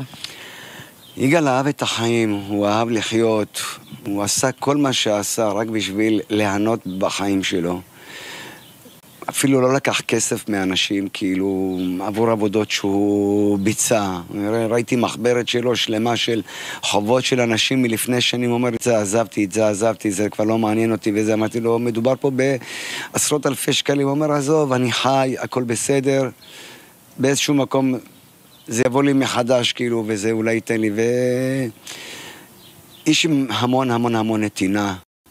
תרם, אפילו פה בימי הולדת של המשפחה, הוא לא שאל, תמיד, יש יום הולדת? אה, כן, בוא, קח 200 שקל, 300 שקל, כאילו לא הייתה לו עניין, בן אדם ממש ממש עם עילוי, עילוי. אני לא כזה אפילו, אני עצמי, אני שונה ממנו. טוב, אני מתרשמת פה מאנשי המשפחה המיוחדים שאתם אה, לא רחוקים ממנו, בעזרת השם שתחיו עד 120. אה, מה אתה חושב על החיים המשותפים של יהודים וערבים פה בארץ? המוות המזעזע הזה גורם לך להסתכל על דברים קצת אחרת, או שאתה עדיין מאמין שיהיה פה בסדר, שיהיה שלום? כולי תקווה קודם כל שיהיה שלום בכל העולם, בלי שום קשר. מלחמות זה לא מתאים לאף אחד, וזה לא טוב לעולם בכלל. ובישראל עצמה, כאילו, צריך כבר להבין שישראל היא עובדה מוגמרת, עובדה קיימת, ולא ניתן לשנות את, ה... את המצב. ואם המצב הוא קיים, והוא מצב שהוא נתון, האנשים צריכים להבין שאין מה לעשות וחובה עלינו לחיות עם זה בשלום. איש באמונתו יחיה, וכל אחד יעשה בביתו מה שהוא רוצה. זה המוטו שלי. אתה מאמין שהמשטרה תתפוס את הרוצחים, תמצה איתם את הדין? מה לדעתך צריך לעשות אה, לבני העוולה האלו? אני לא אגיד בבמה זו שאני אכעס על המשטרה או על המדינה שלא תפסו אותם. זה, זו תהיה סגירת מעגל לפחות במישור הפלילי, העברייני, המכוער הזה, הנבזה הזה, שהם חייבים לתפוס אותם. ולו רק בשביל לדעת שהם יקבלו את עונשם. חשוב מאוד. מה המסר שלך לעם ישראל בשעה הקשה הזו? עם ישראל צריכים להיות מאוחדים ומאוחדים לדעתי ברוב, ברוב הזמן וגם בזמנים הקשים, ואני רואה את זה מה, מהימים האלו שאני מקבל חיבוק מכל עם ישראל, אה, וזה מחמם את הלב. אה, שימשיכו להיות חזקים, שישמרו על מדינת ישראל, על ארץ ישראל כמו שהיא, על מנת שנוכל להמשיך את זה לדורי דורות. איזו נקודה לדעתך אנחנו כולנו יכולים לקבל על עצמנו, ככה להתחזק לזכרו של יגאל? איזו נקודה הכי אה, מאפיינת את יגאל, שאנחנו יכולים לקחת איתנו הלאה? יש לי המון. יש לי המון, אני, קשה, לי, קשה לי לדבר על יגאל בלשון עבר, אבל... איש חסד. זה מה שיש. תודה רבה לך, שיהיה בשורות טובות. אנחנו נקבל על עצמנו להתחזק כולנו בנתינה ובחסד, באמת להמשיך את אה, רוחו של יגאל. שיהיה רק בשורות טובות לעם ישראל, בעזרת השם. כן, אפרת, רק בשורות טובות. אה, עצוב מאוד, כואב מאוד, המקרה הפשוט מזעזע הזה. אה, כן, שריה, אנחנו איתך, קצת מהמתרחש עכשיו ביהודה ושומרון. כן, אז יהודה ושומרון אה, ממש מתחת לאף של כולנו מתלקחת ומגיעה לממדים שהרבה זמן לא ראינו אותה.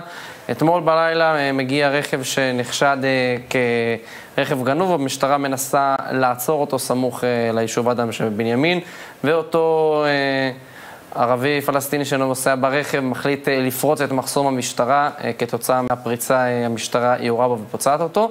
בנוסף אנחנו מדווחים על זריקות אבנים, בקבוקי תבערה וצמיגים בוערים גם בלילה, גם בבוקר.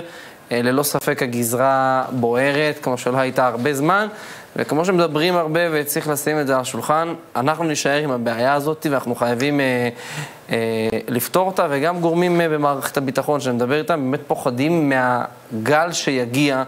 אה, לאחר אה, המבצע. אנחנו ראינו שגם בגלי הטרור האחרונים, בעצם זה פיגוע רודף פיגוע. כשמחבל עושה פיגוע, ויום אחריו עוד פיגוע, ויום אחריו עוד פיגוע, זה נותן לגיטימציה לעוד מחבלים.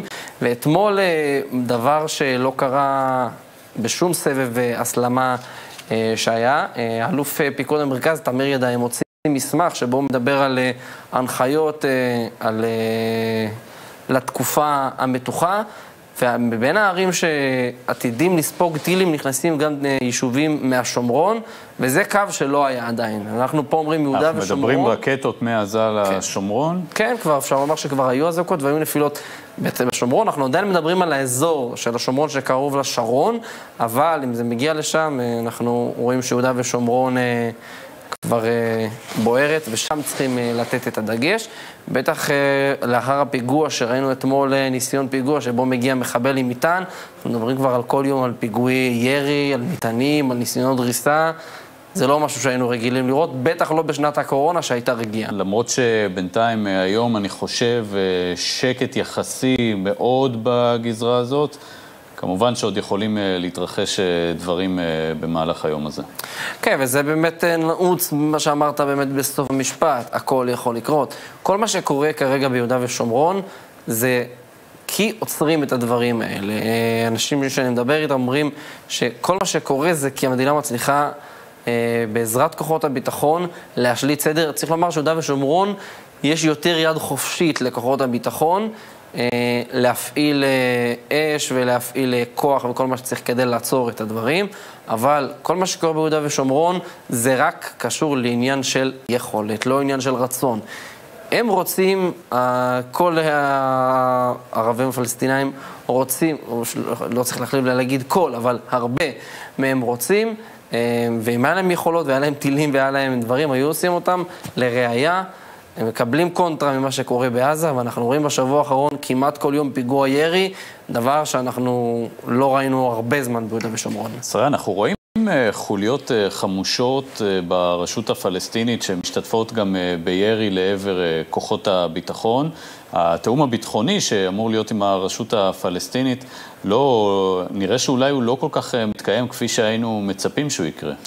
כן, אני, אני רואה את זה... רק ש... נעדכן שעכשיו אזעקות באשקלון, כן. ממה שאני רואה ומה שאני מבין מאנשים בשטח, הנהגת החמאס משפיעה פה על כולם, ו- ונהיה פה סוג של מרווח שאותם חוליות uh, מנצלים.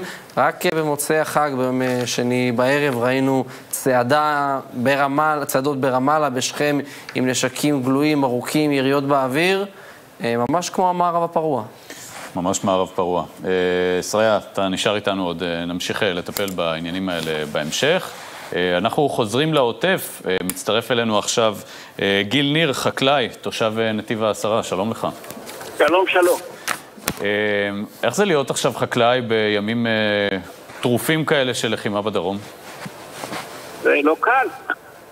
אתם לא יכולים לא בעצם קל. לטפל בשדות שלכם בימים נכון, האלה. נכון, יש אזורים שסגרו לגמרי, יש אזורים שיש חופש. לנוע ב... כשאין אה, התראות ספציפיות, אבל סך הכל הגידולים אה, מופקרים וה... והשטחים לא מטופלים כמו שהם מטפלים בהם יום-יום. זה, יש חקלאים שזה גורם להם גם אה, לנזקים כלכליים, כלומר שאי אפשר לטפל בשדות עכשיו, יש יבולים שאולי אי אפשר לקטוף בימים אלה? יש יבולים שלא נקטפים, יש ריסוסים שלא נעשים, יש מערכות השקיה שלא מטופלות ויכול להיות שהן נוזלות, אם זה מחשב הוא פותח אוטומטית וה... ואז יש פיצוצי מים, יש אה, המון המון בעיות שהן לא, לא, אי אפשר לטפל בהן בעת הזאת והחקלאים הם אה, מפסידים הון עתק. גיל, מה, מה אתה יכול לספר לנו על, על העובדים עכשיו? אצלכם סובלים ממחסור בעובדים? אתמול שוחחנו עם חקלאי אחר שאמר לנו שהפועלים התאילנדים מפחדים להגיע וגם פועלים ערבים לא מגיעים לעבוד.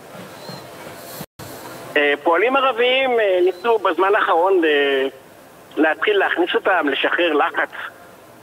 אצלנו במושב אין כמעט פועלים ערבים, יש קצת, היו קצת פועלים בדואים, אבל יש המון תאילנדים, קרוב ל-200 תאילנדים, שהם גרים או ביישוב או בשטחים החקלאיים, אה, נבנו להם מבנים ולרובם יש מיגוניות. בנתיב עשרה לכולם יש מיגוניות, גם בבתי האריזה וגם במבנים שלהם. גיל, אה, ראינו את האירוע המאוד אה, הטרגי אתמול, שבו נהרגו שני פועלים אה, תאילנדים ונפצעו עוד כשמונה. איפה זה תופס אותך, וגם איך הפועלים שנמצאים במשק שלך מרגישים? הם בטח שמעו על האירוע הזה. אני מניח שהם שמעו, הם נסערים. אה, תראה, הם עובדים, אה, כשמותר לעבוד בנתיב עשרה, זה עדיין גם כן תחת אש וכל היירוטים של כיפת ברזל היא מעל השטחים של המושב. הרעש הוא תמידי, או מהארטילריה שלנו שהפגזים עוברים מעל המושב, או מה- מההתראות צבע אדום, או מהיירוטים שהכל מעלינו, והכל הם רואים בלייב, והכל זה כמו סיפור מלחמה, סרט מלחמה. הם לא באו פה בשביל להיות במלחמה כמובן, אבל הם, הם די אה, ממושמעים וחזקים ולא היו כמעט נטישות. מה שאנחנו עושים מחר, כי זה ממש כלו כל הקיצין, אנחנו מארגנים להם יום הפגה. לוקחים אותם ל... באוטובוס, קרוב ל-300-200 איש, ובחוף הים בתל אביב, או משהו ככה, להרגיע אותם, להפיג אותם. נחמד, יוזמה נחמדה. אתם, אה, אתה מצליח אבל אה, לתווך להם? הם, אה, הם אה, דוברים עברית, דוברים אנגלית? מישהו מצליח להסביר להם מה המצב? כן, כן. יש מתורגמנים של חברות כוח האדם, יש חלק מה...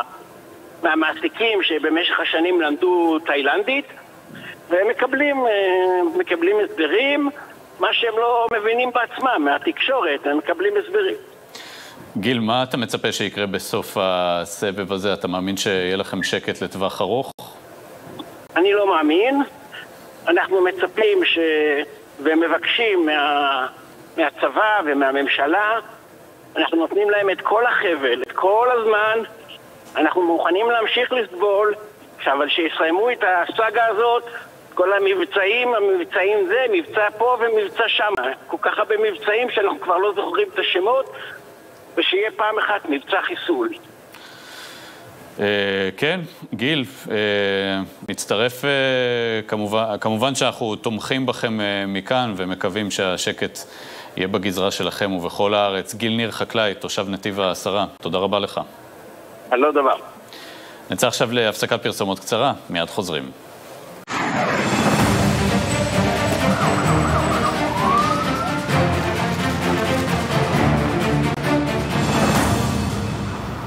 חזרנו, משדר מיוחד אה, כאן בערוץ 20, אחרי שדיברנו על הנעשה בעזה וגם על הפרעות אה, בלוד.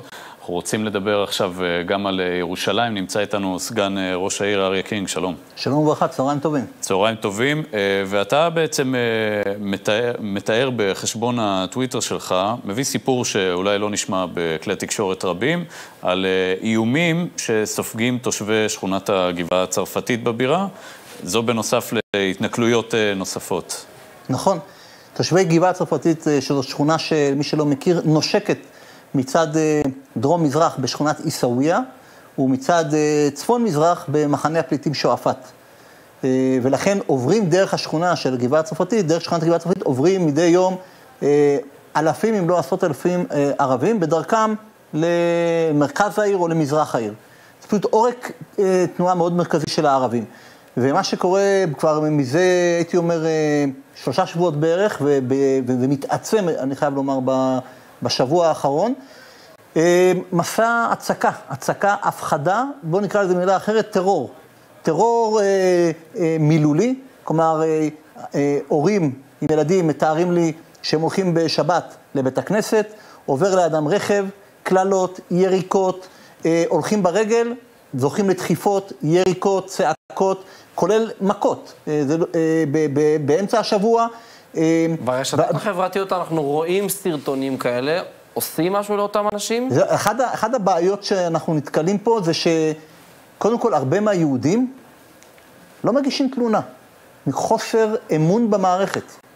זה, אנחנו, אני נתקל בזה כל הזמן, אמרתי, הם מתקשרים אליי, אמרתי, למה אתם התקשרתם אליי? התקשרתם למאה? התקשרנו למאה, לא הגיעו. אחרי חצי שעה, שעה, אני לא אחכה עם הילדים שלי בגינה הציבורית, גן השלום, יש מקום שנקרא גן השלום, כמה פסטורלי זה נשמע, שיהודים מגיעים לשם ומכפכפים אותם. מתקשרים למשטרה, המשטרה, בואו נשים את הדברים על השולחן, זה לא שהשמיכה לא מכסה, אין שמיכה. הגענו למצב ששכונות מסוימות, השמיכה בכלל לא שם. אריה, זו תופעה חדשה או שזה משהו שקורה מאז שהתחילה המתיחות האחרונה בבירה? תופעה לא חדשה. לא חדשה, רק האינטנסיביות שלה גברה בשבועות האחרונים, וגם חוסר היכולת של המשטרה, אם פעם המשטרה הייתה מגיעה תוך אה, חמש דקות, עשר דקות, רבע שעה, לעתים אנחנו מגיעים למצבים בשבועות האחרונים שהיא לא מגיעה בכלל, בכלל, ואז אומרים לה, למה שנגיש תלונה? אם גם ככה, הם לא הגיעו אלינו לשטח, שנגיש תלונה, או כבר שמענו מהשכן שהגיש תלונה, וכעבור ארבע שעות, ארבע שעות שהרכב שלו, חיברו בו לחלוטין, סגרו לו את התיק. ארבע מה, שעות. מה המצב עכשיו אה, בירושלים? אני מניח שהפרעות אה, בלוד הן מה שתופס את עיקר הכותרות, אבל אה, גם בבירה יש בימים האחרונים עדיין נמשכים המאורעות האלה, או שגם כן יש איזשהו שקט יחסי? נמשכים, כולל אתמול, בשעה חמש, שש לפנות ערב, זה קורה. יש דבר אחד שחייבים לומר, המשטרה הבינה שהכפפות זה לא המקום הנכון להשתמש בהן, לא כפפות של משי ולא שום כפפות אחרות. צריך לרדת לשלב של התקפה. אני יכול לומר לך שאני נכחתי בפגישה אז אחת, זה כן המשטרה מבינה אני עכשיו. אומר לך, בארבעה, חמישה ימים האחרונים, אה, מזהים שינוי בדפוס ההתנהגות של המשטרה. יכול להיות שגם פיגוע הדריסה האיץ את ההפנמה הזאת, שמדובר פה בטרור ש- שיביא לרצח, חס וחלילה, של בן אדם. תראה, היה אירוע דקירה אז של... רגע, אריה, אתה יודע מה, עוד מעט אה, נרחיב על זה. אנחנו רוצים לעבור עכשיו אה, לכתבנו, הלל אה, ביטון רוזן, שנמצא סמוך אה, לגדר הגבול בעזה. הלל. כן, אה, שלום יונתן, אז אה, כמובן אנחנו לא יכולים להגיד את המיקום שלנו, אבל אנחנו נמצאים סמוך מאוד אל אה, כוחות אה, יבשתיים של, אה, של צבא הגנה לישראל, שממש לפני דקות אחדות אנחנו שמענו כאן את התותחים מאחרינו רועמים. ככל הנראה אה, בוצעה תקיפה ממש כאן מאחרינו, אם הצלם יסיט את המצלמה מצד ימין, אנחנו רואים פה פעילות רבה של כוחותינו בדקות האחרונות. בוא, בוא תתקדם איתי, ביחד אנחנו נראה גם לך וגם לצופים שלנו מה כרגע אה, קורה פה, אה, מבלי אה, לדבר על אה, סדר הכוחות ומבלי כמובן גם על המיקום הספציפי שלנו. בתקיפה בימים האחרונים יש הרבה מאוד הפעלת אש ארטילרית, וזה בדיוק מה שאנחנו רואים כאן. יש פריסה מאוד מאוד רחבה לכל אורך הגדר, ולא רק במקום שאנחנו נמצאים. גם כוחות שריון, גם כוחות תותחנים, וגם כמובן מהצד השני, מחיל הים מסייעים לחיל האוויר למעשה לבצע את התקיפות המדויקות שקורות כאן. ממש עכשיו יצאה גם הודעה של אה, דובר צה"ל על כך שבוצעה תקיפה אה, בעיר ח'אן יונס ברצועת עזה. ייתכן מאוד שזה הכוחות שאנחנו ראינו כאן אה, ממש מאחורינו ועדיין רואים אותם, הם אלה שהיו גם שותפים לה. אנחנו כאן הצלחנו מעט לשוחח עם החיילים היקרים שלנו. המורל פה גבוה מאוד וחשוב לציין את זה, המוטיבציה נמצאת בשיאה, יונתן. החיילים נחושים. חדורים מטרה להמשיך ולפעול ככל שיידרש, וזה גם מצטרף ומתחבר לנו בסופו של דבר לא רק למה שקורה במישור הצבאי, גם למה שקורה במישור המדיני. כל הזמן אנחנו מקבלים עוד ועוד אמירות מגורמים כאלה ואחרים, שהם בעצם אומרים אמירה פשוטה, הפעם אנחנו נבחר מתי לסיים. אף אחד לא יכתיב יותר למדינת ישראל ולעם ישראל מתי ולמה וכמה הוא ימשיך לתקוף את אויביו שנמצאים ממש כאן אה, מאחרינו ברצועת עזה, יונתן. אם יהיו כאן כמובן עוד התפתחויות ועוד אה, עדכונים, אנחנו נחזור אליכם. כן, הלל, תודה רבה לך. אנחנו נמשיך לעקוב איתך אחרי המצב אה, שבגזרה הזאת. תודה. אריה, אז בואו נמשיך ברשותך לדבר על ירושלים. אני חושב שהמאורעות האלה התחילו, לא דמיינו את זה, אבל באינתיפאדת הטיק-טוק ראינו את התקיפות גם ברכבת הקלה בירושלים. כשהאירועים האלה התחילו, אתה ציפית שזה יגיע לאן שזה מגיע היום? אני אה, צוטטתי בכמה מקומות בראשית האירועים, וככה אמרתי אז ואני אומר גם היום. עד שלא יהיו הרוגים מצד המחבלים, הרוגים מצד המחבלים, זה לא יסתיים. יונתן, זה מאוד פשוט. המשוואה היא מאוד פשוטה למחבל הפוטנציאלי, ודובר על, נכון לאתמול, 680 עצורים. לא עצורים בשמועות, אולי, עצורים עם, אה, זה אומר שהיה להם ביד זיקוק, בקבוק תבערה, אבן, אה, תקיפה, אה, אחד הלינצ'ים, 680. מה, אבל מה קורה? החבר'ה האלו נעצרים, מגיעים לבית המשפט, אחרי יום, יומיים, משתחררים, חוזרים לשכונה כגיבורים, מודל לחיקוי, והילדים, האחים, השכנים מחקים אותם. הם זורקים אבנים על השוטר, והשוטר לא מגיב. במקרה הטוב זורק רימון הלם. והאזרח מפחד, כי אם הוא יירה, באוויר, הוא יבלה את הלילה שלו במעצר, וזה קורה, לצערנו הרב. אז אתה, מה שאתה בעצם אומר זה שירי כזה, לגרום להרוג בקרב מי שמשליך אבנים, זה משהו שיכול אה, ליצור אותה, ולאו דווקא אולי דווקא להבעיר את השטח. זה חד משמעי. אני גר במזרח ירושלים כ-25 שנים. עברתי פה אינתיפאדה, עברתי פה מלחמות, מבצעים, אה, אירועים כאלו, מה שאתה לא רוצה. מה שתמיד הביא לסיום גל הטרור, בין אם הוא גל של ימים או של שבועות, זה היה כשהורידו את הכפפות ופשוט חיסלו את המחבלים. עכשיו, אני לא אומר שכל אחד שזורק אבן במרחק 100 מטר מסכן את החייל, אבל כשבן אדם, כשאני רואה חיילי מג"ב נמצאים, וראיתי אירועים כאלו בשמעון הצדיק, מצד אחד 100-200 איש, מצד שני עוד 100-200 איש, רוגמים אותם באבנים, יורים עליהם זיקוקים, וכל מה שמאפשרים להם, מאשרים להם, זה לזרוק רימון הלם, שהערבים עושים את זה, בכלל לא זזים. זורקים את הרימון הלם, עומדים לידו. זה לא מפריע, זה עושה רעש, עושים את האוזניים, ממשיכים במסע הטרור שלהם. כשהערבים רואים שזה מה שקורה פעם אחר פעם, במשך שבועות, מאירועי שער שכם, ואני רוצה לתקן אותך, נתן, זה לא התחיל בשער שכם, הרבה בתקשורת חושבים שזה התחיל בשער שכם או בטיקטוק, זה התחיל באירוע שמהר מאוד חוסל, ולכן לא זוכרים אותו. עמותת עטרת כהנים נכנסו לשלושה מבנים בכפר התימנים, שהם קנו שלושה מבנים ונכנסו. זה היה ממש ביום הראשון של הרמדאן, או יום לפני הרמדאן למעשה. ואז אה, אכרם א-סברי, המופתי של אה, הר הבית, הלעיט את היצרים. והוא צעק שהיהודים בדרך להר הבית, ובדרך אה, לסגור את הר הבית, ולהרוס את, את, את, את אל-אקצא. הוא ניסה לחמם, אבל אז הייתה תגובה חזקה מאוד. 30 שוטרים ומג"ב שהיו במקום, מנעו, היה אירוע אחד של תקיפת השלושה מבנים, אבל כש... באמצעות זיקוקים, אבל כשהמשטרה הגיבה בהחלטיות, העסק נרגע. ואז העסק עבר לשער שכם, ואז בשער שכם קרה מה שקרה, לא ניכנס לפרשנויות אם זה היה טוב או רע, ראו שהעסק רגוע, עכשיו עברו לשער, לשמעון הצדיק. האירועים האלו כל הזמן קורים, הדרך לגמור אותם זה שיהיה הצד השני נפגעים. נפגעים כי עד המסר, פה... עד המסר לבחור, המחבל הפוטנציאלי הבא, אם אני מרים בקבוק תבערה, יכול להיות שהיד שלי כבר לא תהיה יד. היה פה קודם אה, תת-אלוף במילואים אמיר אביבי, יושב ראש הביטחוניסטים, הוא דיבר על זה שמצד אחד, אה, כן, צריך להשיב את ההרתעה אה, גם ביישובים המעורבים, באופן כללי ברחבי ישראל, נגד מי שמבקש לפגוע באוכלוסיות על רקע לאומני. להגביר את כוחות השיטור, אבל גם שיש בעיה קשה מאוד במדינה, שהיא בעיה של חינוך. שאין, שמאפשרים לחנך לטרור, או חינוך לאומני נגד המדינה, אולי זה מה שצריך להשקיע בו, אולי זה מה שישיב את הסדר. זה, זה, זה לא ישיב את הסדר, כי חינוך לוקח זמן. אין ספק שהחינוך, אם היה חינוך נכון, בירושלים, או בכלל במגזר הערבי, לא היינו מגיעים לתמונות שאנחנו רואים.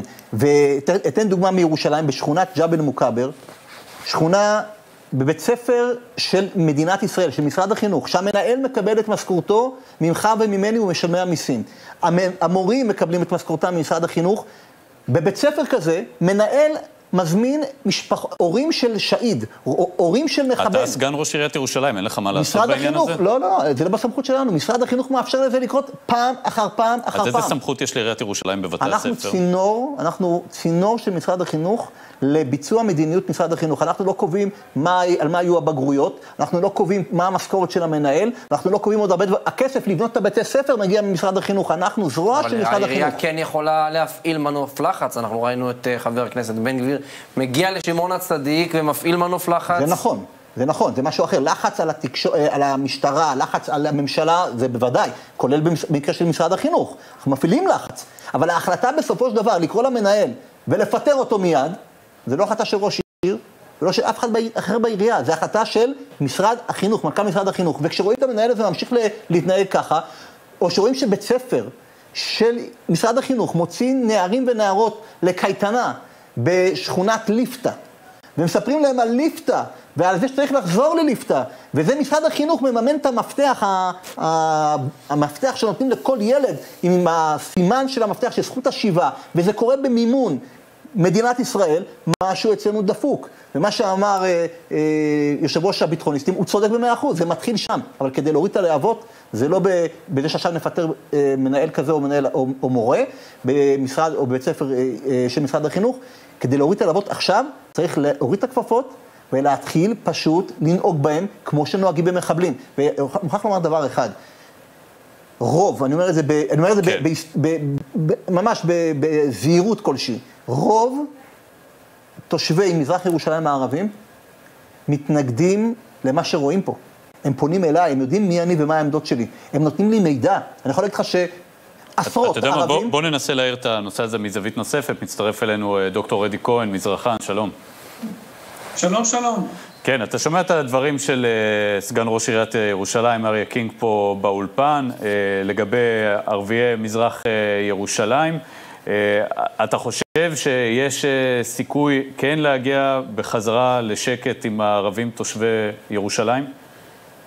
קודם כל אני מסכים איתו במאה אחוז לגבי הפעלת יד קשה כנגד הטרוריסטים. ואני מרחיק לכת ואני לוקח את הדוגמה שלו. אני וחבריי בימים האחרונים עובדים קשה בטוויטר וברשתות החברתיות. מה אנחנו רואים שם? הערבים מציגים לנו את ה... ציטוטים של ערוץ 2, את הציטוטים של דנה וייס, את הציטוטים של, של עופר כסיף, את הציטוטים של חברי כנסת הערבים, את הציטוטים גם של, של, של העיתון הארץ. כלומר, אה, אה, כל, כולם נגדנו, גם אנחנו בתוכנו, וזה מה, דלק... מה זאת אומרת כולם נגדנו? לא הבנתי. אנחנו בתוכנו נגד עצמנו, זה הבעיה כאן. אני אומר לך, אה, אה, לגבי מה שאמר סגן ראש העיר, כן צריך להפעיל כוח, אבל אנחנו ידענו שזה הולך להיות. הרי כל הזמן הם טוענים, אנחנו רוצים לשחרר את ירושלים. והנה הגיע הזמן, הם משחררים את ירושלים. אני לא מופתע. אריה קינג מופתע? אני שואל אותו, אנחנו לא דוקטור מופתעים. דוקטור כהן, אתה יכול להסביר לי מה גרם להתחזקות של אה, חמאס במזרח העיר? קודם כל, התחזקות חמאס בכלל בעזה, אה, אה, כל ה... בשנים האחרונות, כל הטיפול, אני, תראה, אה, ראש הממשלה לצערי בנושא הזה, בתיק הזה נכשל, איך להתייחס לחמאס, איך לשמור על חמאס. אם היינו עושים את המבצע הזה ב-2008, תאמין לי, הכל היה משתנה, ההיסטוריה הייתה משתנה. אי אפשר פשוט לקבל את הטילים אה, לשדרות או לעוטף עזה, ורק כשיגיע לתל אביב אנחנו מופתעים. הטיפול בכלל בעזה באמת כשל וכשל. לגבי ירושלים, נכון, יש בעיה, משתמשים במסגד אל-אקצא, הרי מה יש להם חוץ ממסגד אל-אקצא להשתמש? אין להם כלום. מה זאת אומרת? איך מסיתים את המוח? מה יש לחמאס? אוקיי. נכון, איך מסיתים, איך משלבים את הרוחות. אה, אה, לפני מאה שנים כתבתי ספר על זה. המופתי המציא את, את, את הרעיון שהיהודים, אז לפני הקמתה של מדינת ישראל, היהודים מתכוונים להרוס את מסגד אל-אקצא. כיום אומרים ישראל מתכוונת להרוס את מסגד אל-אקצא. כאשר המסגד לא נהרס, מה אומרים? ישראל חופרת מתחתה אה, מסגד אל-אקצא, ישראל מגרשת אנשים, כל זה פייק ניוז אבל בערבית... דוקטור כהן, חמאס מנסה בעברית... להשיג עכשיו אה, עוד הישגים. אה, ככל שהמבצע יימשך, חמאס יבקש להשיג אה, עוד הישגים מול ישראל. איזה הישגים הוא מבקש להשיג בהיבט הזה של אל-אקצא? שהוא ששומר על אקצא. אני רוצה להגיד לכם משהו, הפופולריות של חמאס עלתה מאוד בימים האחרונים, לצערי, בקרב מדינות ערב. הפופולריות של הארגון הזה עלתה באמת אה, בצורה דרמטית. הוא הציג את עצמו שהוא שומר על ירושלים, הוא שומר על אל-אקצא, הוא שומר על האסלאם, הוא מביא את האור לאסלאם, אותם דברים שאמר המופתי לפני 90 שנה, חמאס זה ממשיכו של המופתי. אבל אנחנו רק רואים שהארגון הזה חוטף עוד ועוד מכות, הצבא ממשיך להרוס מבנים, מגדלים, את מערכת המנהרות התת-קרקעיות. נראה שחמאס לא בדיוק בשיא שלו, אז איך יכול להיות שהוא מתחזק בעולם הערבי? זה לא משנה. חמאס לא יבקש הפסקת אש בפומבי, אפילו אם תהרוג לו מיליון עזתי. חמאס זאת תנועת טרור, מוכנה להקריב את כולם רק כדי שיגידו המשפט הזה. חמאס היא שמרה על מסגד אל-אקצא. ככה זה, הם מוכרים אשליות לאנשים, ואנשים מאמינים, לצערי. תגיד, ואיפה הרשות הפלסטינית נמצאת עכשיו uh, בסיפור הזה? אני רוצה רק להעיר הערה לפני התשובה. מדוע אנחנו לא חיסלנו אה, ולא הרסנו את בתי המפקדים ב-15 שנים האחרונות? מדוע רק עכשיו, אחרי עופר צוקה, אחרי כל הצוק איתן, מדוע לא חיסלנו את הבתים או לא אה, פגענו בבתים שלהם? למה כל כך, לוקח לנו כל כך הרבה זמן? למה אנחנו באיחור? למה, למה רק עכשיו? כי זה פוגע בהם. כאשר אתה פוגע בבית של המפקד, זה פוגע בו. אז דוקטור כהן, אולי באמת תנסה להסביר למה לא פגענו בבתים של, של מפקדי חמאס, במנהיגים עצמם? למה לא עשינו את זה עד עכשיו? כל מי שהמציא את המושגים הכלה, הבלגה, הסדרה, שקט יענה בשקט, לצערי זה הממשלה. וכל מי שהמציא את השיטה הזאת, ולכן נכשלנו, אנחנו, הממשלה. דוקטור אדי כהן, מזרחן, תודה רבה לך על הדברים האלה. תודה רבה לך. אריה, אני רוצה לגעת איתך בעוד נקודה. אה, יום ירושלים, מצעד הדגלים, שתוכנן לעבור גם בשער שכם. בסופו של דבר, כל הסיפור הזה היה נראה כמו פיאסקו אחד גדול, שישראל נכנעת לדרישות, אה, אתה יודע מה, אולי אפילו דרישות של אה, ארגוני טרור, לא לעבור במקומות מסוימים בירושלים. האם לדעתך נראה את זה גם בשנים הבאות? אני הולך להגיד משהו לא פופולרי. לא ציפיתי שתגיד משהו פופולרי. אבל זה הכל תלוי מי יהיה ראש הממשלה הבא. אוקיי. יש לנו, כמו שאמר אה, דוקטור אדי כהן, יש לנו ראש ממשלה שלפני שבוע אישר, או שבועיים, אישר הכנסת 30 מיליון דולר לחמאס. בזמן שהוא נלחם עם החמאס. יש לנו ראש ממשלה שכתב ספר יפה מאוד על איך להילחם בטרור, כנראה הוא לא קרא מילה אחת ממה שהוא כתב. הוא לא מממש דף אחד בספר שלו. ולכן, וזה לא נכון רק למבצע הזה.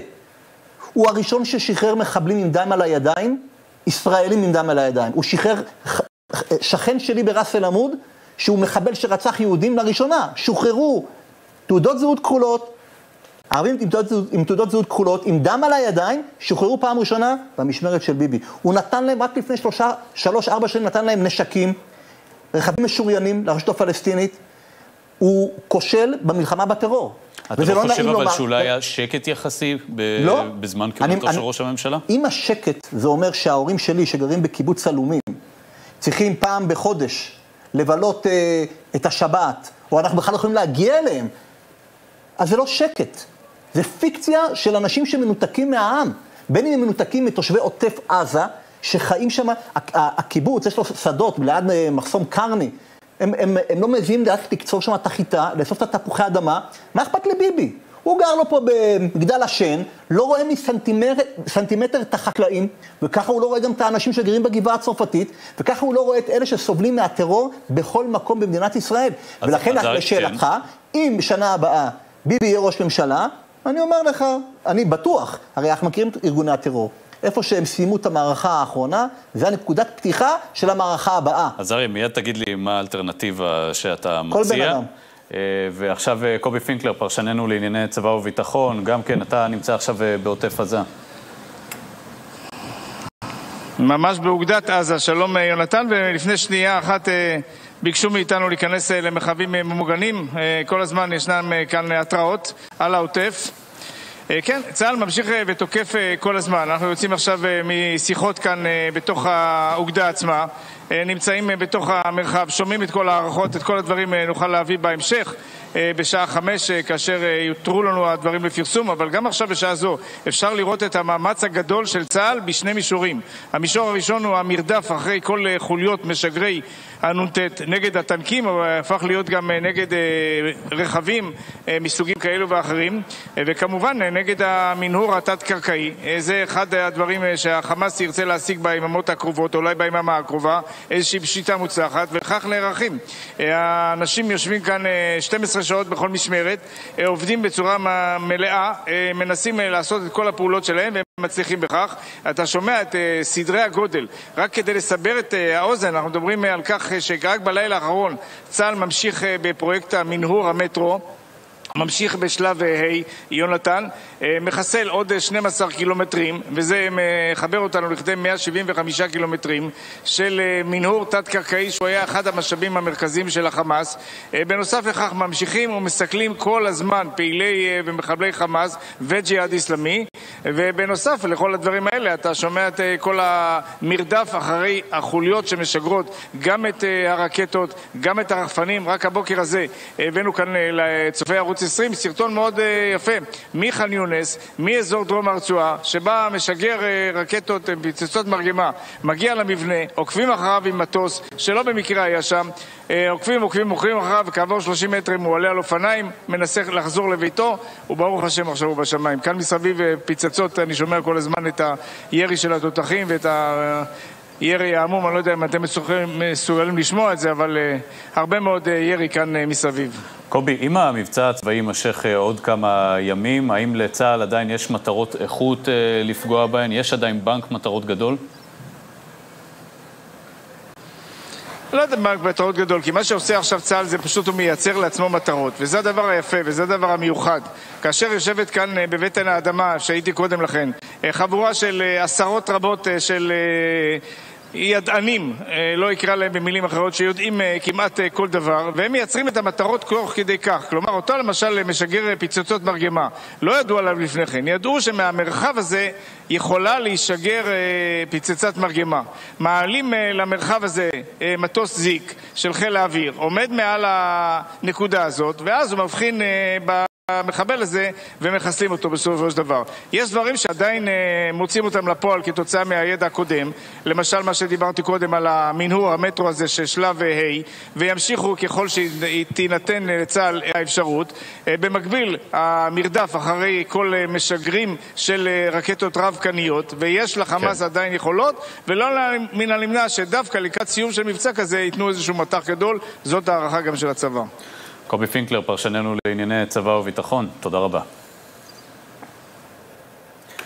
אז אריה, בהמשך לדברים שלך, מתחת פה ביקורת על התנהלותו של ראש הממשלה, אבל מה האלטרנטיבה? מה אתה יכול להציע? מי יכול לטפל יותר טוב בבעיות הביטחוניות שיש עכשיו לישראל? יונתן, אני אגיד את זה ככה, אין ספק שלנתניהו, ראש הממשלה, יש זכויות רבות בכל מיני תחומים. טיפול בקורונה, אולי טיפול באיראן, אני לא יודע. אבל בדבר אחד הוא נכשל. זה א', שמירה על שלמותה של ארץ ישראל. הוא מסר את חברון, הוא מסר את אבו דיס, הוא מסר את יריחו, תמך בגירוש מהגוש, בצפון השומרון, הקפיא את הבנייה במזרח ירושלים, הקפיא את הבנייה ביהודה ושומרון, לא בונה באי אחד, כישלון, לא היה דבר כזה. לא היה ראש ממשלה רע כמו נתניהו בתחום הזה, זה דבר אחד.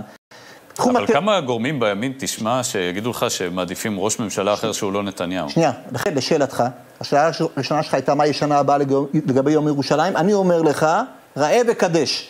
אם ביבי ראש ממשלה, ולחמאס יהיה טיפה אומץ, לא הרבה, טיפה אומץ, הם יאיימו, וביבי מלכתחילה כבר יוריד את האופציה של כניסה דרך שער שכם, כי כמו שאמרתי, הטרור הבא, גל הטרור הבא יתחיל איפה שנסיים את הגל הזה. האם אתם מרגישים בעירייה שבעצם מזרח ירושלים הפך להיות מעין הדרום של ישראל? חד משמעית. זאת אומרת ששם הדברים, זאת אומרת, אם מחר יהיה בלאגנים במרכז העיר, הם יקבלו משנה תוקף אחר?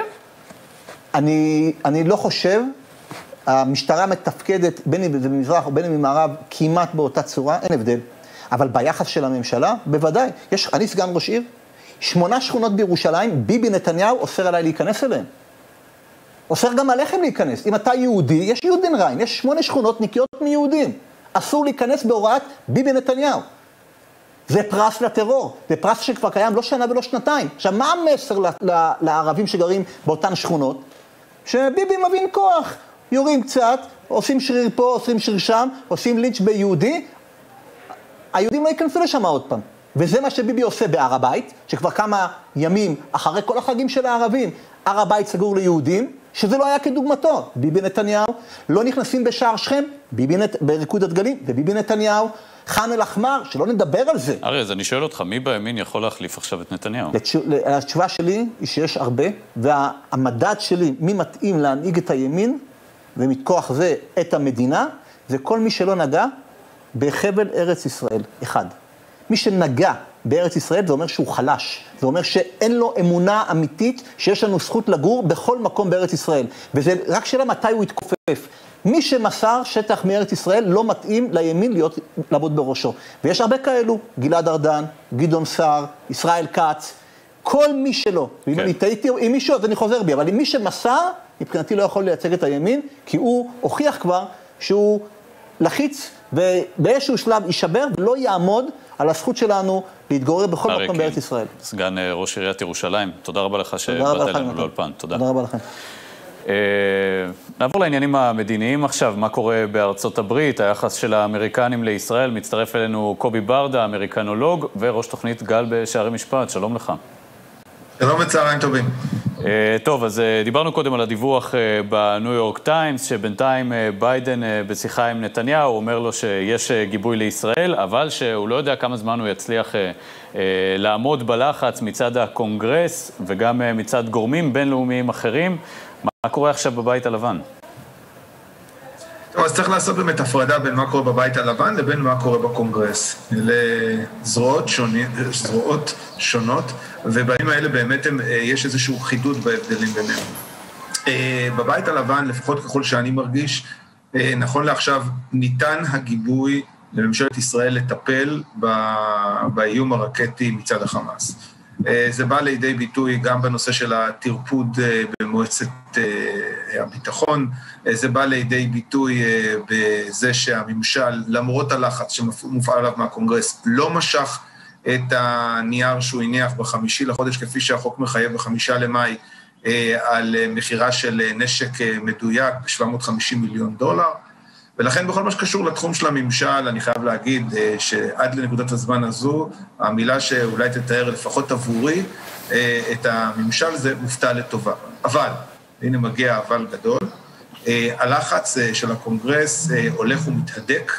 אנחנו מרגישים את הלפיתה הופכת להיות יותר ויותר חזקה, דברים שבעבר לא היו פיזית לא היו... קובי, אולי נסביר מה הכוונה בלחץ של הקונגרס. מי, מי זה הקונגרס, או מי בקונגרס מפעיל לחץ? אוקיי, אוקיי, אז, אז קודם כל כמובן, המפלגה מדובר במפלגה דמוקרטית, אבל המפלגה הדמוקרטית שולטת כיום בכל שלושת הזרועות, זאת אומרת, גם בבית הנבחרים, גם בסנאט וגם בבית הלבן. ובעצם מה שאנחנו רואים פה היא תופעה שהיא הולכת, מבחינתי מה שמאוד מאוד מדאיג, זה לא רק ההתרחבות של השוליים הפרוגרסיביים, שכיום כבר בערך בסביבות ה-80 חברי קונגרס מתוך 220 חברים. זה אני שם את זה שנייה בצד. אני מדבר על מישהו כמו צ'אק שומר. צ'אק שומר הוא יושב ראש הרוב, אחד מהסנטורים הכי ותיקים שיש, אוהב ישראל ידוע, מגיע לכנסים, כל פעם שאני באיפא"ק הוא מדבר, כשלחלוכית בעיניו... כן, קובי, רק אני אעצור אותך שנייה לעדכן על צבע אדום בלכיש ובדרום השפלה, ממש ברגעים אלה. כן. יהיו חזקים חברים. ואותו צ'ק שומר, למרות שעיתונאים פונים אליו ומבקשים להבין מה הוא חושב על המאבק בעת הזאת, מסרב להתייחס לנושא. למה הוא עושה את זה? הוא מפחד שב-2022 AOC, הלוא היא אלכסנדריה אוקזיה קורטז, שהיא בעצם מובילת הבלוק הפרוגרסיבי, בחורה צעירה שלפני 2018 הייתה בכלל ברמנית, והפכה להיות חברת קונגרס עם עשרות מיליוני עוקבים אחריה ברשתות החברתיות, הוא מפחד שהיא תתמודד מולו על התפקיד של הסנטורית שמייצגת את ניו יורק. ולכן בעצם מה שאנחנו רואים זה כיצד התנועה מתחילה מלמטה. אנחנו רואים בעצם איזושהי תנועה שמפעילה לחץ על הנשיא מתוך מפלגתו. לכן אני אומר שבהקשר הזה, נכון לעכשיו, תמיד אני מדגיש את העכשיו, ביידן מצליח לעמוד די בגבורה. אתמול, אגב, קובי, היה זה, קטע... זה האגף הפרוגרסיבי במפלגה הדמוקרטית שמוביל את הלחץ, או לאו דווקא? יכול להיות גם דמוגרפים, לא, לא, אני אומר, הוא זה שמוביל את הלחץ, אבל הנתונים קורסים לתוך עצמם. זה בדיוק מה שאני אומר. זאת אומרת, הלחץ שמתחיל, הפרוגרסיביות, אתן לכם למשל דוגמה נוספת. אתמול, אה, בתרגיל פרלמנטרי, אה, הרפובליקנים ניסו בעצם להפוך אה, סיום של דיון להחלטה שמגנה את החמאס. ו-220 חברי הקונגרס הדמוקרטים הצביעו נגדה.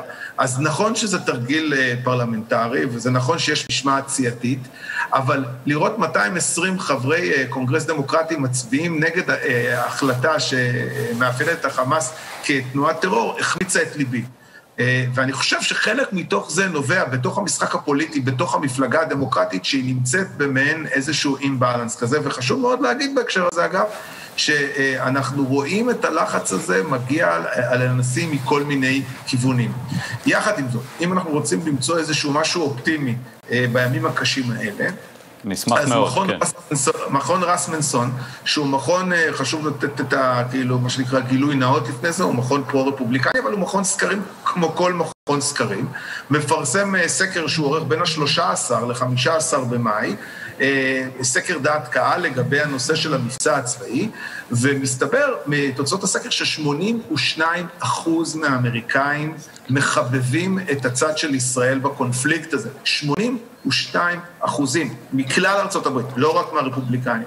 ואלה מספרים קובי, יכול להיות שנפל האסימון, יכול להיות שנפל האסימון לעולם, אה, אה, התמונה שאנחנו רואים, שבעצם אתה אומר 82 אחוז אה, מצביעי- אה, מצביעים בעד הצד הישראלי. כן, איך מסבירים את זה? שונות. אני, אני אנסה להסביר. אני חושב שיש הבדל דיכוטומי עצום כמעט בין החיים עצמם לבין מה שאני קורא לה בועת הטוויטר. בבועת הטוויטר, מי שבעצם מלבים את מה שקורה שם, זה אנשים שיש להם, אה, האחיות אה, חדיד למשל, עשרות מיליוני עוקבים באינסטגרם. אה, הבת שלי, בת 14, מוצאת את עצמה, היא והחברות שלה, ממש מדוכאות מזה שאומנים מצייצים, איך היא קוראת לזה? לפלסטלינה. כן, קובי, אוקיי? רק אה, נעדכן שוב אה, אזעקות אה, באשדוד ובשפלה, כן. ובעצם מה שאנחנו רואים זה תנועה שהיא תנועה, אם תרצו, עממית, שאנחנו לא הכרנו אותה במובן של סלבריטיז ומובילי דעת קהל, שהשתלטו על הרשתות החברתיות ומייצרות מציאות מדומה. מה שהסקר הזה בא ללמד אותנו, שהמציאות הזאת היא באמת בסופו של דבר מציאות מדומה.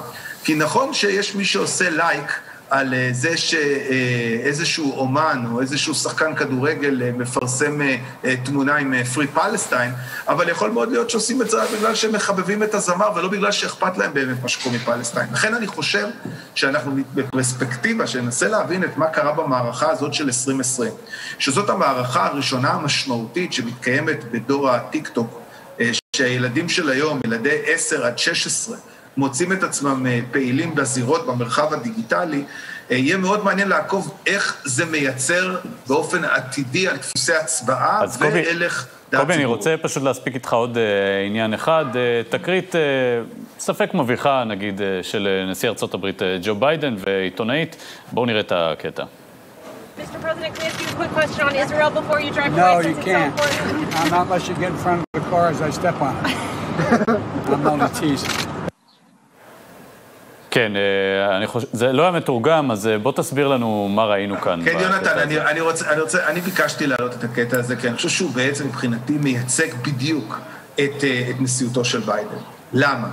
הנשיא ביידן רצה להשאיר את כל מה שקשור לנושא ישראל בצד. הוא לא רצה להתעסק, הוא בכלל, באופן כללי, הדוקטרינה שלו היא משיכה החוצה, היא משיכה בדלנית, יש לו את, ה, את מה שנקרא אה, Buy American, ממשיך את טראמפ, בואו ונקנה אמריקאים. את החבילה של השני מיליארד, אה, שני טריליארד, טריליארד דולר שהוא עכשיו עשה, הוא בעצם מפנה כדי לייצר רכישות בתוך ארצות הברית ומתוך אנרגיות מתחדשות. הנה מגיע הנשיא למישיגן, אה, לנסוע ברכב חשמלי. ורגע לפני שהוא נותן גז ורוצה להוכיח לעיתונאים שם שהרכב מצליח להאיץ אה, מ-0 ל-80 מייל ב-4.3 או 4.2 שניות, איזה עיתונאית מציקה לו, אה, אדוני הנשיא, אפשר בבקשה לשאול אותך שאלה על ישראל? ואז הוא אומר לה, לא גברת, את רוצה לשאול על ישראל? אני שם אותך לפני האוטו ואז אני אדרוס אותך, אז אני אתן לך לשאול. זה, זה, כל כך אה, אימפולסיבי, אבל כל כך מייצג לטעמי את מה שבא, היא פשוט מרגיזה אותו, הוא בא בשביל לחגוג את ההישגים שלו בתחום זה של אה, המשק האמריקאי חוזר לתפעל. כן, אני מתאר לעצמי שזה דווקא לא צייר אותו יותר מדי טוב בארצות הברית, התקרית הזאת. קובי ברדה, מומחה לארצות הברית, ראש תוכנית גל בשערי משפט, תודה רבה לך על האלה. תודה לכם, צהריים טובים. ונצא עכשיו להפסקה פרסומות קצרה, מיד חוזרים.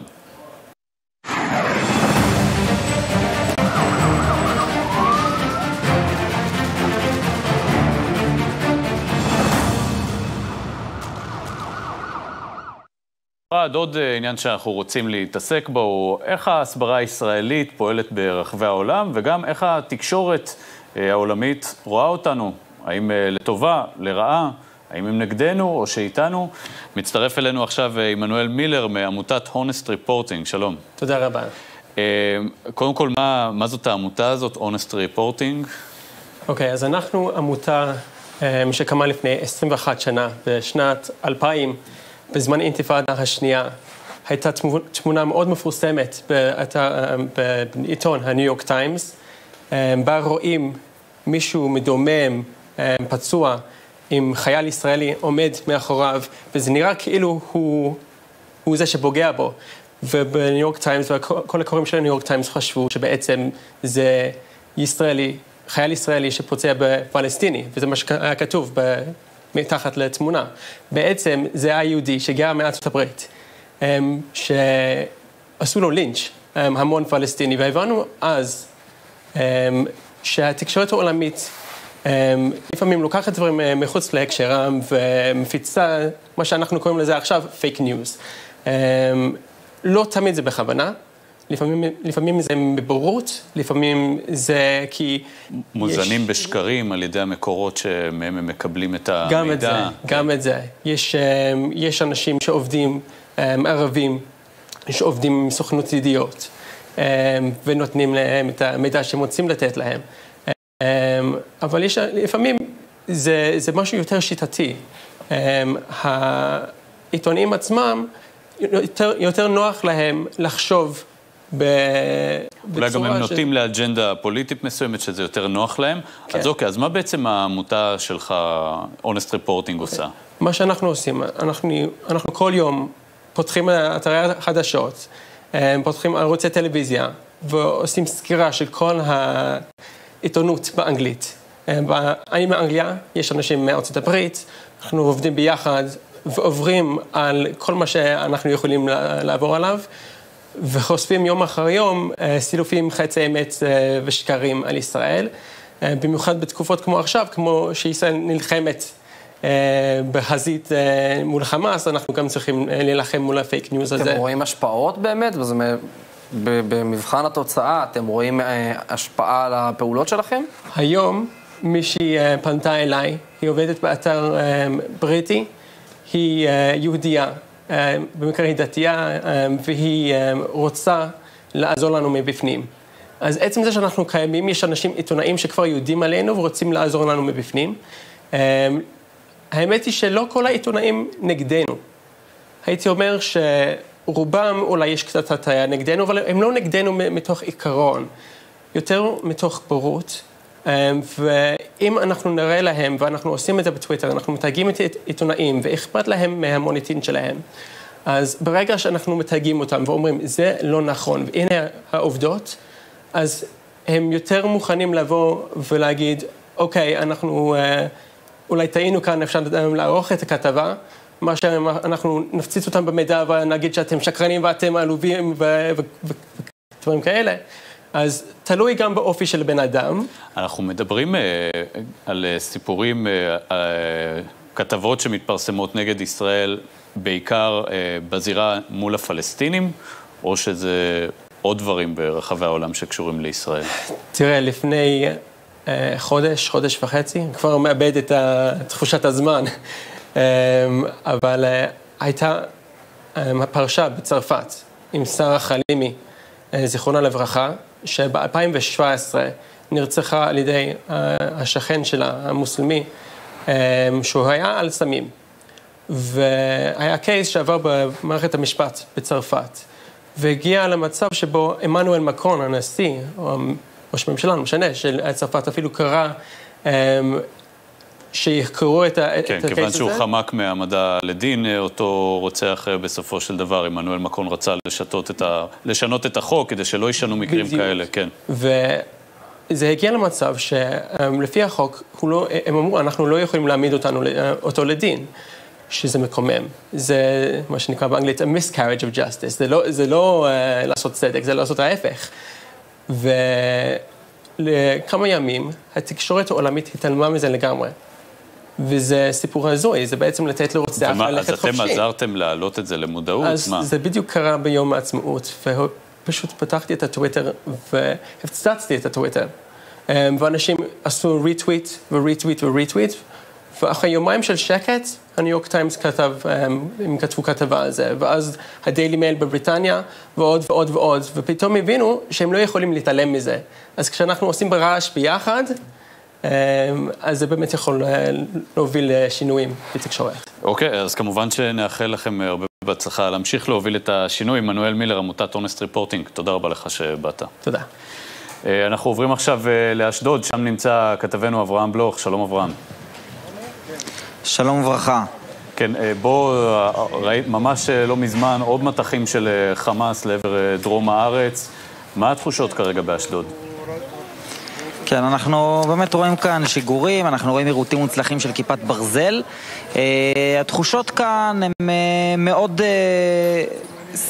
מאוד סומכים על צה"ל מצד אחד, מצד שני מאוד חוששים שהמערכה תסתיים בלי לתת מענה אמיתי לכל בעיית שיגור הטילים לעבר הדרום. ואתה נמצא עכשיו איפה? אני רואה בית מאח... שכן, שספג פגיעה. כן, מאחורינו ממש נמצא בניין שספג פגיעה ישירה ממש כאן לידו. אנחנו רואים כאן את כל הרכוש של האנשים, את החורים מהרסיסים שממש יכולים להרוג אנשים. אם משה יוכל לחזור אליי, ש... שתבין, אנחנו רואים כאן רסיס. הרסיס הזה מהטיל הוא רסיס בינוני. גם רסיס יותר קטן מזה יכול להרוג, ואנחנו רואים רבים רבים כאלה. יש פה פשוט ניסיון לרצוח יהודים. נמצא איתנו כאן מקסים מהאבטחה כאן באשקלון. מה יש לך לומר על המצב? המצב כרגע לא נראה טוב. ברצוני קודם כל להודיע שיש לשמור על הנחיות פיקוד העורף. ניתן לראות מה שהוא הראה כאן את הרסיס. יש פה בן אדם שספג את הרסיס ישירות לראש, וכרגע הוא נמצא בבית חולים במצב לא טוב. פגע בראש, באוזן, בסנטר, עובר ניתוחים. לשמור על הנחיות פיקוד העורף זה דבר מאוד חשוב.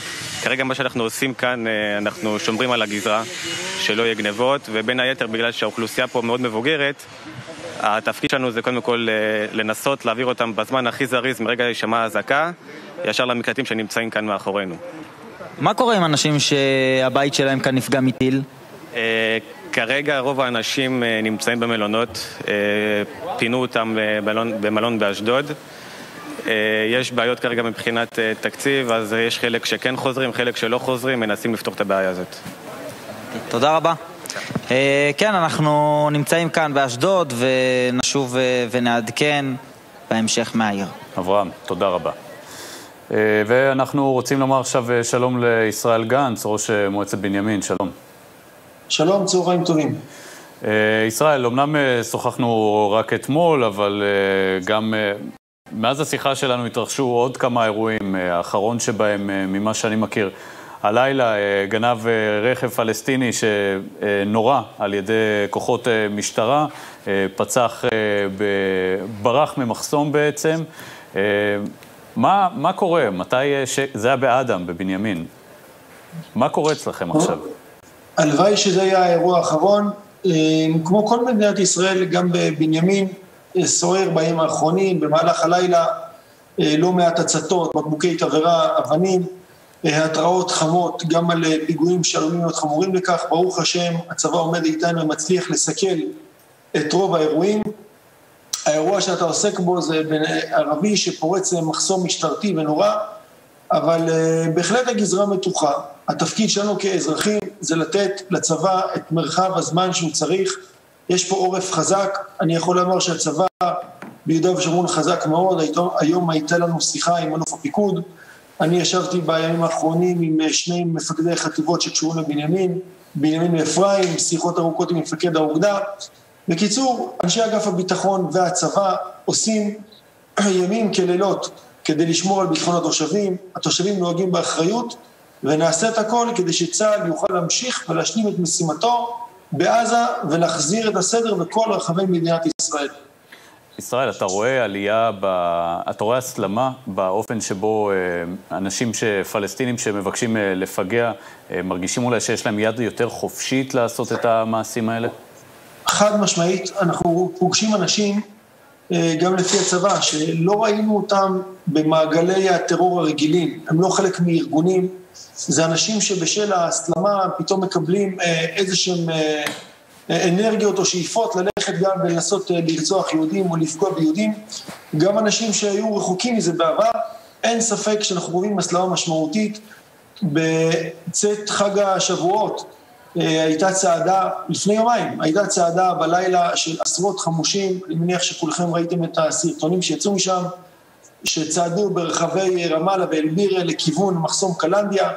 אה, ירו אה, מאות כדורים, ראינו את הנוטבים אה, עוברים מעל היישוב פסגות, בהחלט יש פה הסלמה משמעותית, אבל, ואני אומר אבל... כל זה גם מתחת לאף של הרשות הפלסטינית, שאפשרה לאותן מיליציות חמושות לירות, למרות שיש תיאום ביטחוני בין ישראל לבין הרשות. נכון, ואני אומר, למרות זאת, יש עדיין, כמו שאתה אומר, תיאום ביטחוני בין ישראל לרשות, והצבא, ביחד עם המנגנונים, פועל לשמור את הסדר, ואני מאוד מאוד מקווה שלא נגיע להסלמה שבשונה מעזה, שבה זה ייגמר בזמן מסוים, כאן אנחנו עולים להגיע למצב של הסלמה מתמשכת. אני מאוד מקווה שלא נגיע לדבר הזה. ישראל, היי, אה, זה שריה. אה, אנחנו לצערנו רואים שיהודה ושומרון נכנסים עכשיו גם אה, לזווית לחימה חדשה. ראינו אתמול את ההוראה של אלוף פיקוד המרכז, שאומר שגם חלק מיישובי השומרון כבר בטווח של הטילים. איך במועצה האזורית בנימין אה, מכינים את עצמכם אה, לתרחיש כזה או אחר? טוב, אנחנו כבר מהיום הראשון של הלחימה אה, עשינו ישיבת הערכת מצב כאן במועצה עם כל מנהלי אגפים, ראשי המכלולים. לצערי, אנחנו מתורגלים, לנו הדבר הזה הוא יחסית, המעבר הוא יחסית קל, המעבר משגרה לחירום, אנחנו יודעים לעשות אותה היטב, כל המקלטים פתוחים, הכל אצלנו מרוענן.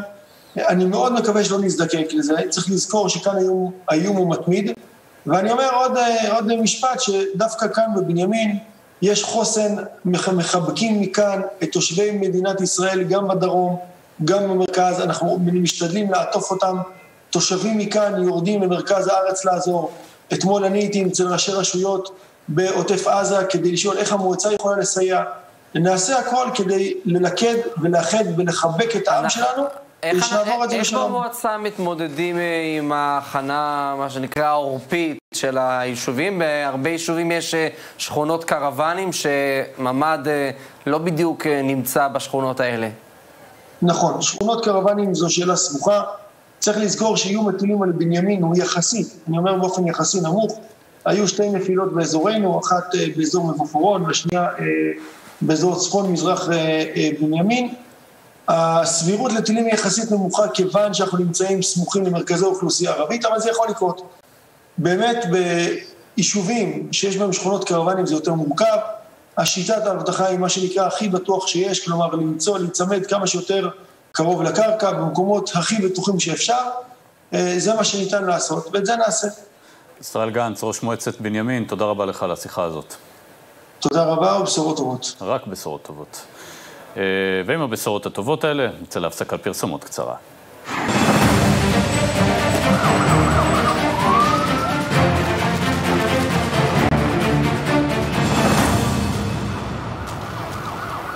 חזרנו למשדר המיוחד שלנו כאן בערוץ 20. שריה, לפני זמן קצר שוחחנו עם אה, ישראל גנץ, אה, ראש מועצת בנימין.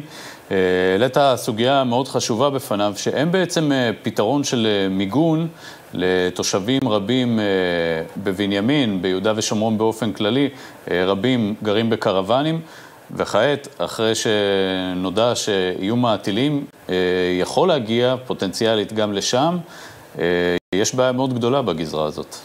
כן, זו בעיה מאוד גדולה. גילוי נאות, גם אני גר בקרוון, גם לי אין לאן אה, ללכת כשיש אה, מקלט, ושאומרים, תשכב על הרצפה, תשכב על זה, צריך לזכור, זה משפחות עם ילדים, אמצע הלילה, זה לא מקום שאנחנו מורגלים, אה, יהודה ושומרון, לא מקום שמורגלים התושבים לטילים, זאת אומרת, יש לך נגיד דקה, במקרה הטוב, מהרגע שנשמעה אזעקה, למרות שזה פחות, אה, לקום, להתאפס על עצמך, לצאת עם הילדים החוצה, לשכב על הכביש, וגם שם, זה לא אופטימלי, זאת אומרת, אם יפול טיל באזור, אתה חשוף. אה, ואני שם לב שזה קורה לא רק במקומות בודדים. ביהודה ושומרון יש המון שכונות של קרוונים, ושם אה, באמת צריך לתת את המענה כמו שצריך. באמת אני קורא מכאן לראשי המועצות, באמת לתת את המענה לשכונות שלהם אין איך להתמגן. כן, שרה, נצטרף לקריאה שלך, וגם אה, נעבור עכשיו אה, לכתבנו אברהם בלוך באשדוד. כן, אה, אנחנו נמצאים כאן בתוך בית שספג פגיעה. המראות כאן, כפי שניתן לראות, הרס רב. אנחנו נמצאים עם מולקה. מולקה היא אשתו של אדם שנפגע בעצם בראשו, היא בעלת הבית. איך התחושות? מה אני אגיד לך, מתי שזה קרה בזמן הזה, הייתי בהלם, אבל זה יש שניות שראיתי את הבעלי שיוצאת לו דם מהאוזן, מהראש, מהאף. אמרתי קודם כל בעלי, לקחתי אותו שהוא היה בכיסא גלגלים פה, בגלל שהוא לא ללכת כל כך, הוא בסיוט, אין עין אחת שלו, חצי עיוור, הוא לא רואה.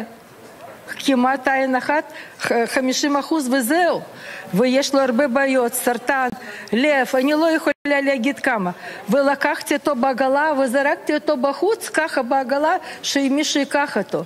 אחר כך התחלתי לחפש, תיק שלי היה פה, אבל מהמשהו שנכנס את הטיל, הוא הלך ככה לחדר זו. חשבתי, זה תעודת זהות, זה שמנו מה זה, זה, אנחנו כל הזמן ככה. יודעים שצריך לפחות תעודת זהות, מי אנחנו. זהו, ואחר כך באו אנשים, התחלנו לדבר, לעזור, אני מודה לכל אחד, מרידה את הכובע לכל אחד, שכולם עזרו לנו, באו עירייה, באו מיד איש אזעקה, והרבה אנשים, הרבה אנשים, לא ראיתי בחיים שלי כל כך הרבה אנשים, וסיפרו לנו שאנחנו צריכים, בוא יגיד, שיהיה בשקט, שהכל יהיה בסדר, לעזור לנו. שיהיה הכל טוב. все, все, סשה, никто נשאר. איך התחושה עכשיו? איך התחושה עכשיו? אתם, אתם מרגישים בטוחים? אתם מפחדים? אני עכשיו חזקה, בגלל שעם ישראל, אנחנו צריכים להיות חזקים. מה שקורה זה קורה, אבל אנחנו ממשיכים לחיות בחיים. יש לי ילדים, יש לי נכדים, יש לי נינים, ואני רוצה שמדינה שמה לב במדינה. מי פגר פה בבניין שלנו? רק אנחנו פנסיונרים, זה ארבע קומות שנכנסו, כולם, איפה הם היו? כל אחד היה ליד הדלת, איפה, איך קוראים לזה? ביטחון שלנו. חמש מדרגות ועשר בפנים, ורחוק, חמישים מטר. איך בן אדם יכול ללכת? פנו, אליכם מהרשויות כדי לתקן את הבית? אמרו לנו שאנחנו צריכים שנה יהיה בשכר, מקושי אתמול מצאו את הדירה, ודירה ריקה, כלום אמרו רק יש ארון ואין כלום, אבל זה לא הכל, זה, שזה, קודם כל אי אפשר לחפש את הדירה, בת שלי אתמול הייתה פה בכל, בכל העיר, אין דירות בכלל להשכיר, מקושי מצאו, אמרו שהיום אפשר לסדר את קרים זה כזה, לשנה, וזהו, אני לא יודעת כמה הם כמה אנחנו צריכים לקבל בחודש, אף אחד לא אמר, אבל אנחנו צריכים צריכים לשלם כל חודש 4,700 שקל. אני ובעלי עבדנו. אנחנו מקבלים מבטחים וקצבת זקנה. אנחנו עבדנו פה 18 שנים עד שיצאנו לפנסיה. אבל פנסיה ככה, סך הכל אני ובעלי, הכל הכל 7,000 שקל. איך אני יכולה? לא אמרו לנו כלום. כמה מגיע לנו? כמה אפשר? מי יודעת? אבל אמרתי, והילדים שלי אמרו, אמא, את צריכה לקחת אותה הביתה אחרי בית חולים, וצריכים יהיה בבית שיהיה חדר ביטחון ומצאו. ארבע אלף שבע משבע מאות שקל. נו זהו, ואמרו שלעזור לנו. אבל אנחנו צריכים גם לדעת שמדינה לעזור, שאנחנו לא אשמים. המדינה כרגע לא עוזרת לכם? אמרו שמתי שהיה זה, שמהמדינה אתמול, אמרו שאנחנו נקבל ראוש, הכל, מקרר. היא צריכה, סטה, ידיסטה, תעזרי לי, נו. אנחנו נמצאים גם עם אה, נכדתה בעצם, בתה, סליחה. אה, ומה מה, מה בעצם המצב מבחינת השכירות? מבחינת השכירות זה אומר שאנחנו צריכים להשיג קודם כל את החוזה. אני, אני הייתי צריכה למצוא לבד את הדירה. ואנחנו, והעלות ההחזר על השכירות זה עלות של הדירות האלה. זה אומר שאם אנחנו, אם, אם הדירה שם יותר, יותר יקרה, אז אנחנו כאילו צריכה להוסיף מכספה את הכסף. אחרי פגיעת הטיל, איך התחושות לגבי המשך המבצע בעזה? תראו, אנחנו, אנחנו מאמינים שאנחנו אנחנו מאמינים בשלום בין שני, בין, בינינו לבינם. אנחנו רוצים שלום כי אנחנו, גם אני שירתתי פה, גם אחיינים שלי שירתו, שירתו פה. ואתה יודע שגם הילדים שלי ישרתו פה, כן? יש לי חמישה ילדים וכולם הולכים לשרת פה. אני עוד כאילו... אני יודעת שהם צריכים לתרום למדינה הזאת ואני רוצה שהם יחזרו הביתה גם מהשירות שלהם. אנחנו רוצים להיות בשלום עם השכנים שלנו, ואני רוצה שהם יהיו, כאילו, וגם הם יהיו טובים אלינו. כי בסופו של דבר, לראות את הבית שגדלת בו נהרס לחלוטין בגלל. בגלל שיש שם כמה אנשים שכועסים עלינו, אנחנו צריכים להגיע באיזשהו שלב לאיזשהו הסכם איתם, אנחנו צריכים להגיע לשלב שהילדים פה בסביבה יחיו בשלום. אנחנו רואים כל השנים האלה איך הדרום מופגז, זה בלתי אפשרי לראות את זה, זה בלתי אפשרי לחוות את החוויה הזאת שבו אתה רואה את הילדים יודעים מה זה, יודעים מה זה, רק, רק, יודעים, רק יודעים מה זה אזעקות. 哎 אני תושבת ראשון לשעבר, האזעקות הראשונות שהיו בראשון, הילדים שלי היו תינוקות. באזעקה השנייה הם כבר לבד זחלו לדלת, הם כבר הבינו מה צריך לעשות. זה היה מצמרר, עד עכשיו זה מצמרר אותי, שילדים קטנים כבר בגיל, כאילו בגיל של שנה וחצי כבר ידעו לזחול לבד לדלת, כי הם הבינו שהצליל הזה, זה צליל שאתה צריך לרוץ מפה מהר, כי אימא אמרה שרצים בצליל הזה. אז להגיד לך את החוויה שלנו, אנחנו מזועזעים, אנחנו מזועזעים מהמצב. אנחנו, אנחנו, אנחנו רוצים, אנחנו כבר עשרים שנה מופגזים, אנחנו רוצים שזה ייפסק. כן, אה, כאמור, אנחנו שומעים כאן אה, באמת אה, תחושות שונות. חזרה אליך, יונתן. כן, אברהם, פשוט מזעזע, כואב הלב לראות את התמונות האלה משם, לשמוע את הקולות של האנשים שיום בהיר אחד טיל פגע להם בבית והכל נהרס פשוט. אמ, טוב, אנחנו רוצים לעבור עכשיו אה, לשר לשעבר, אה, גאלב מג'אדלה, שמצטרף אלינו על אה, קו הטלפון. שלום לך, אדוני. שלום, צהריים טובים. גאלב, איך אתה רואה את הסיטואציה הזאת שישראל נמצאת בה עכשיו? מה ישראל צריכה לעשות מול חמאס בעזה כרגע, לדעתך? אני מצטרף לרבים שונים שחושבים שצריך להפסיק את ה... לא שמענו אותך שוב, הקו, היה קושי בקו? אני אומר, אני מצטרף, אני מצטרף לרבים שחושבים שצריך להפסיק את המלחמה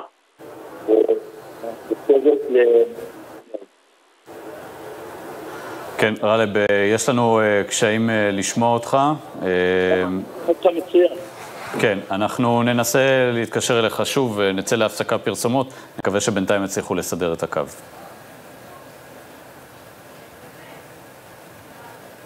כן, אה, מיד נצא להפסקת פרסומות. שריה, ראינו את התמונות הקשות האלה מאשדוד.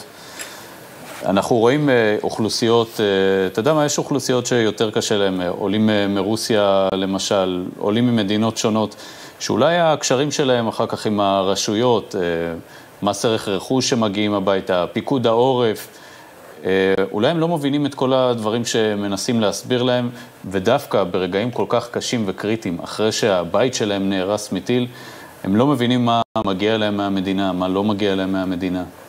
אני חושב שכאן זה בעיקר עניין של הרשויות כלפי התושבים שלהם. אני, אני יכול להגיד שבתקופת הקורונה, כשהתחילו החיסונים, אני דיברתי עם ראש עיריית קריית מלאכי, שאמר לי שהם מבינים שיש את האוכלוסייה הרוסית המבוגרת, האוכלוסייה האתיופית המבוגרת, שלא תמיד מבינים את מה שצריך באמת אה, כדי לראות את התמונה הכוללת, ופה זה המקום של ראשי המקומו, העיריות המקומיות, ליצור את ההסברה בדרך שכל אחד צריך כדי להבין אותה. אם צריך לעשות הסברה בשפה הרוסית, אז בשפה הרוסית, אם צריך בשפה הערבית, ערבית. אז כן שמעת על יוזמות כאלה מצד אה, עיריות, אה, בעצם אה, כדי להקל על תושבים שהבתים שלהם נפגעו בתקופה הזאת? אני שמעתי את זה בתקופת הקורונה, כשהתחילו החיסונים וכשרצו לעודד את החיסונים כדי... להסביר את התמונה המלאה, הרי אתה אומר לבן אדם בוא תיקח חיסון, הוא לא יודע, הוא בכלל לא מבין, אבל אומר, הפלטפורמה קיימת, הרי אנחנו יודעים להסביר, הנה רק עכשיו אה, ראש הממשלה הביא לכאן אה, דיפלומטים מכל רחבי העולם כדי להסביר, אז, אז אנחנו יודעים להסביר בכל הדרכים ובכל הצורות. צריך לתת פה את הדגש גם על אותן אוכלוסיות שהזכרת, גם על אותן אוכלוסיות שראינו, באמת כאב לי הלב כשראיתי את זה. בן אדם עזב את כל מה שהיה לו במדינה אחרת, אתה, אתה לא יודע בכלל מה הוא היה שם, אם הוא היה שם, אה, איך היה המעמד שלו, איך היה... עזב את כל מה שהיה, הגיע לארץ מתוך ציונות, מתוך שליחות. בואו ניתן לכולם את מה שמגיע להם, בצורה שמגיע להם. לא צריך לתת להם מעבר ולא צריך לתקן. תראה, היא לא ביקשה שום דבר, היא רק ביקשה להבין. באמת, אני לא יודעת מה קורה פה. וזה הזמן גם שלנו, בתור אנשי תקשורת, אה, לנצל את הבמה ואת הכוח שיש לנו ולעשות את ההסברה ואת הבמה לתת לכל מי שיכול להסביר בצורה שבה כל האזרחים במדינה יוכלו להבין. כן, לקרוא גם לראשי רשויות, גם uh, לגורמים בפיקוד העורף, uh, שיסבירו גם לכאלה שיותר uh, קשה להם בגלל קשיי שפה. או מכל סיבה כן, אחרת. כן, אז ש... לא מדברים במשהו. כן, אנחנו רוצים uh, לעבור עכשיו, uh, לאותו בית משפחה באשדוד, נמצא שם, uh, נמצא שם uh, אביגדור, uh, חבר הכנסת uh, אביגדור ליברמן, הוא בדיוק משוחח עם אה, בני המשפחה שם אה, בבית. אה, כן, אנחנו רואים את התמונות האלה משם. וזה בדיוק מה שצריך שיקרה. אם, אם אנחנו אה, בתור אה, פלטפורמה לא יכולים לתת או לא מצליחים להגיע, אז נבחרי הציבור, לכל אחד יש את הציבור שבחר בו, וזה בעיניי ראוי מאוד להערכה. כן, בואו לא נשכח, אביגדור ליברמן היה גם שר הביטחון. אמ, כן. יש לנו אה, קולות משם? אנחנו יכולים לשמוע? לא. אוקיי. אה, בסדר, נברר אחר כך עם אה, אברהם בלוך כתבנו מה נאמר שם על, על ידי אביגדור ליברמן. אנחנו נצא עכשיו להפסקת פרסומות קצרה. מיד חוזרים.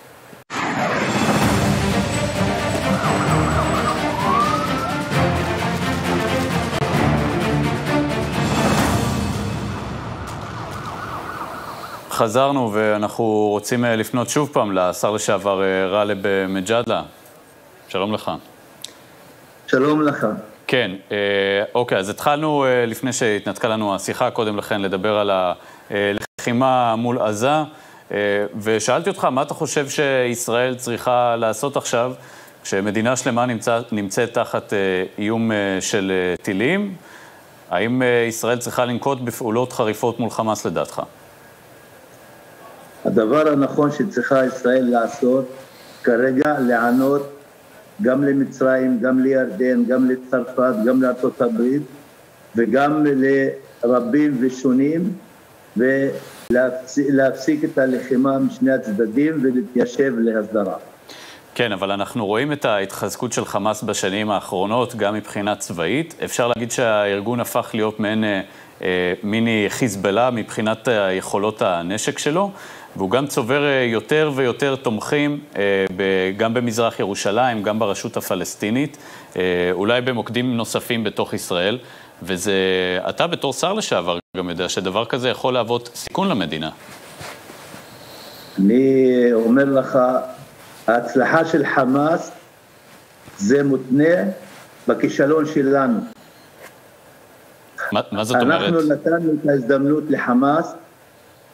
לצערי הרב, ממשלת ישראל נתנה את ההזדמנות לחמאס להתחזק ולחזור להיות שחקן מרכזי לעם הפלסטיני וגם להביא את התוצאות שאנחנו עכשיו מביאים.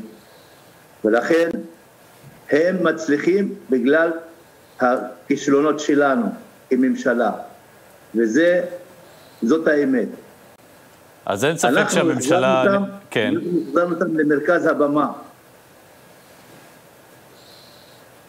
כן, אז מה, אז החזרנו אותם למרכז הבמה, אז מה ישראל צריכה לעשות עכשיו מול חמאס, כדי שחמאס שוב פעם יהיו בצד? אמרתי לך פעם נוספת, לענות בחיוב למצרים, לירדן, לצרפת, לאירופה ולארצות הברית, וכרגע להפסיק את הירי משני הצדדים ואת המלחמה משני הצדדים. אוקיי, אני רוצה... אין דרך אחרת. אוקיי, אני... ככל שנעשה את זה מוקדם יותר, כן. זה יוטב לכולם יותר. אני רוצה לשאול אותך עכשיו על המצב uh, בתוך uh, גבולות המדינה. ראינו הרבה מאוד אירועי אלימות uh, בשבועות האחרונים. יש שיח מאוד ער לגבי הסימטריה של האירועים, אירועי התקיפות מצד ציבור ערבי כלפי ציבור יהודי וגם להפך. איך אתה רואה את הדברים עכשיו פה בתוך המדינה? תראה, אתה, אנחנו לא צריכים להתחיל לצלם מצב מהאמצע. המושג איזה סימטריה הוא לא רלוונטי בכלל. מי שהמציא אותו לפני כמה ימים, כדאי שייקח אותו בחזרה. אנחנו צריכים להתייחס לעובדות. סגירת כביש 6 בלילת אל-קדר, הלילה הכי חשובה למוסלמים ולמנוע מהמתפללים להגיע לאל-אקצא. כניסת המשטרה ומשמר הגבול לאקצא ולהשתמש בגז מדמיע. בן גביר להביא את הלשכה שלו למזרח ירושלים והציב אותה שם.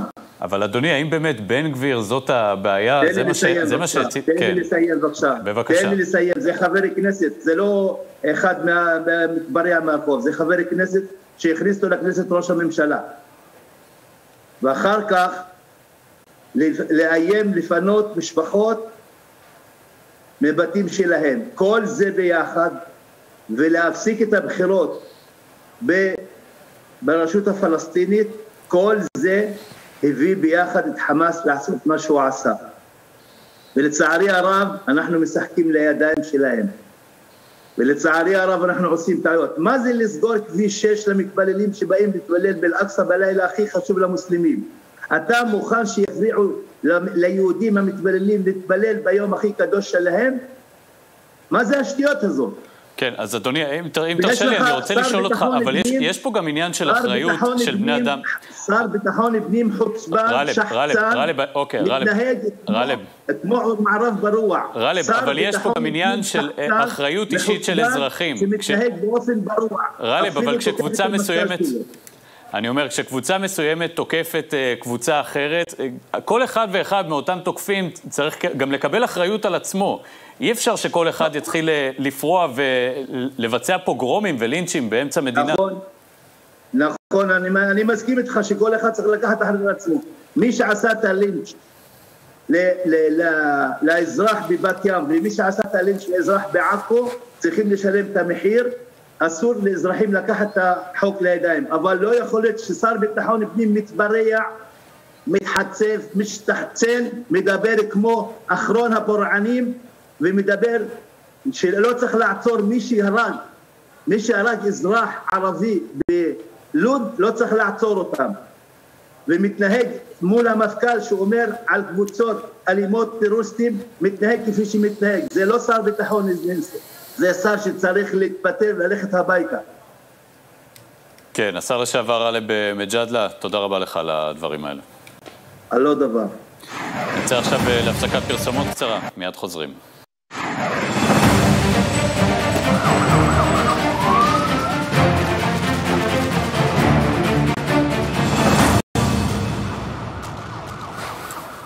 חזרנו ועכשיו מצטרף אלינו יאיר קראוס, כתב הצפון של מקור ראשון. אנחנו רוצים לדבר איתו על האירועים האחרונים, מה שקורה עכשיו אה, בעכו, אחרי אירוע לינץ' הקשה שהתרחש, אה, שבוצע ברב אה, ברזילאי. שלום יאיר. כן, יאיר קרס איתנו? כן, שלום, צהריים טובים. צהריים טובים. לא יודע אם שמעת את ההקדמה שלי, אנחנו רוצים כן, לדבר איתך... שמעתי. כן, אז אה, בוא נדבר על מה שקורה עכשיו אה, בעיר, וגם מה שגרעין אומץ אה, מתכנן לעשות עכשיו. כן, למעשה אנחנו נמצאים כעת אה, אולי בשלב של ההלם, התדהמה והמחשבה מה עושים ביום שאחרי.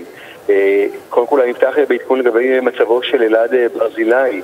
ממש ברגעים אלו הוא נמצא בניתוח מאוד מאוד ארוך וממושך.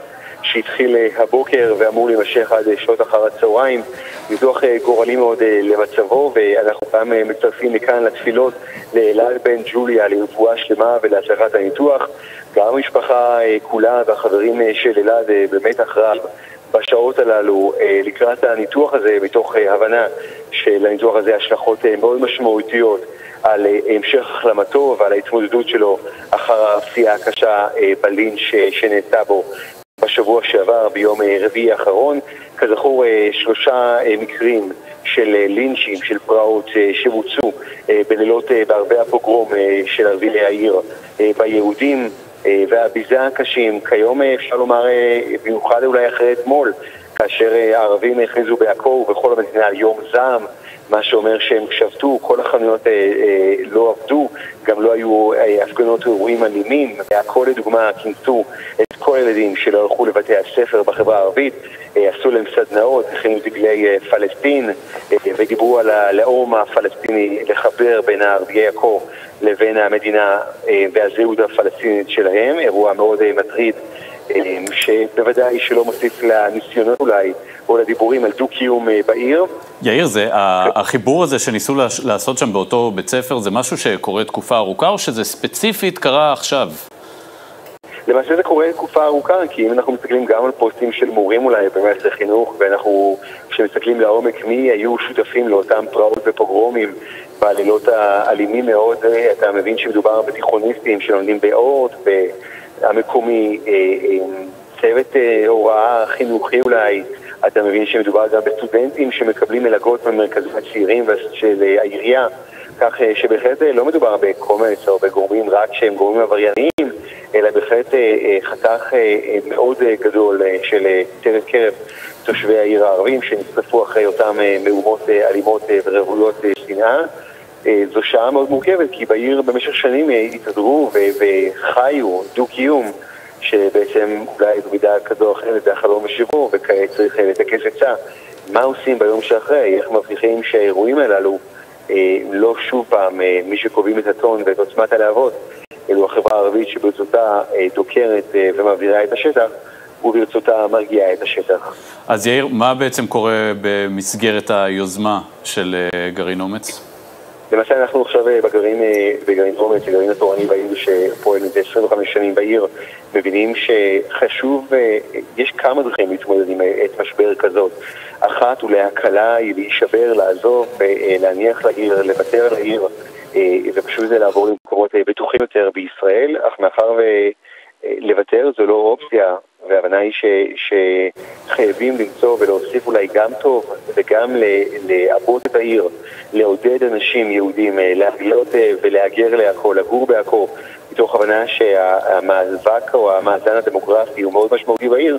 כעת אה, יצאו אתמול בגרעין אומץ באמת פרויקט גיוס של הדסטארט לגיוס להביא משפחות ולעזור למשפחות שנפגעו ולשקם את העיר. המון המון מטרות, אפשר למצוא גם בפייסבוק של יאיר קראוס את הלינק וגם אה, להצטרף ולתרום, אני חושב שזו אז שעה אה, מאוד מאוד נקרא חשובה. לכל מי שמעוניין אה, לחפש את ההדסטארט הזה, או לפנות אה, לחפש בעמוד הפייסבוק שלך. יאיר קראוס, אה, כתב הצפון של מקור ראשון, וגם תושב עכו, תודה רבה. תודה, שזה בשורות טובות בשקט. רק בשורות טובות. אה, זהו, שריה, כאן אנחנו בעצם אה, מסיימים את המשדר שלנו. מיד אחרינו יערה זרד, המשך המשדרים המיוחדים. להתראות.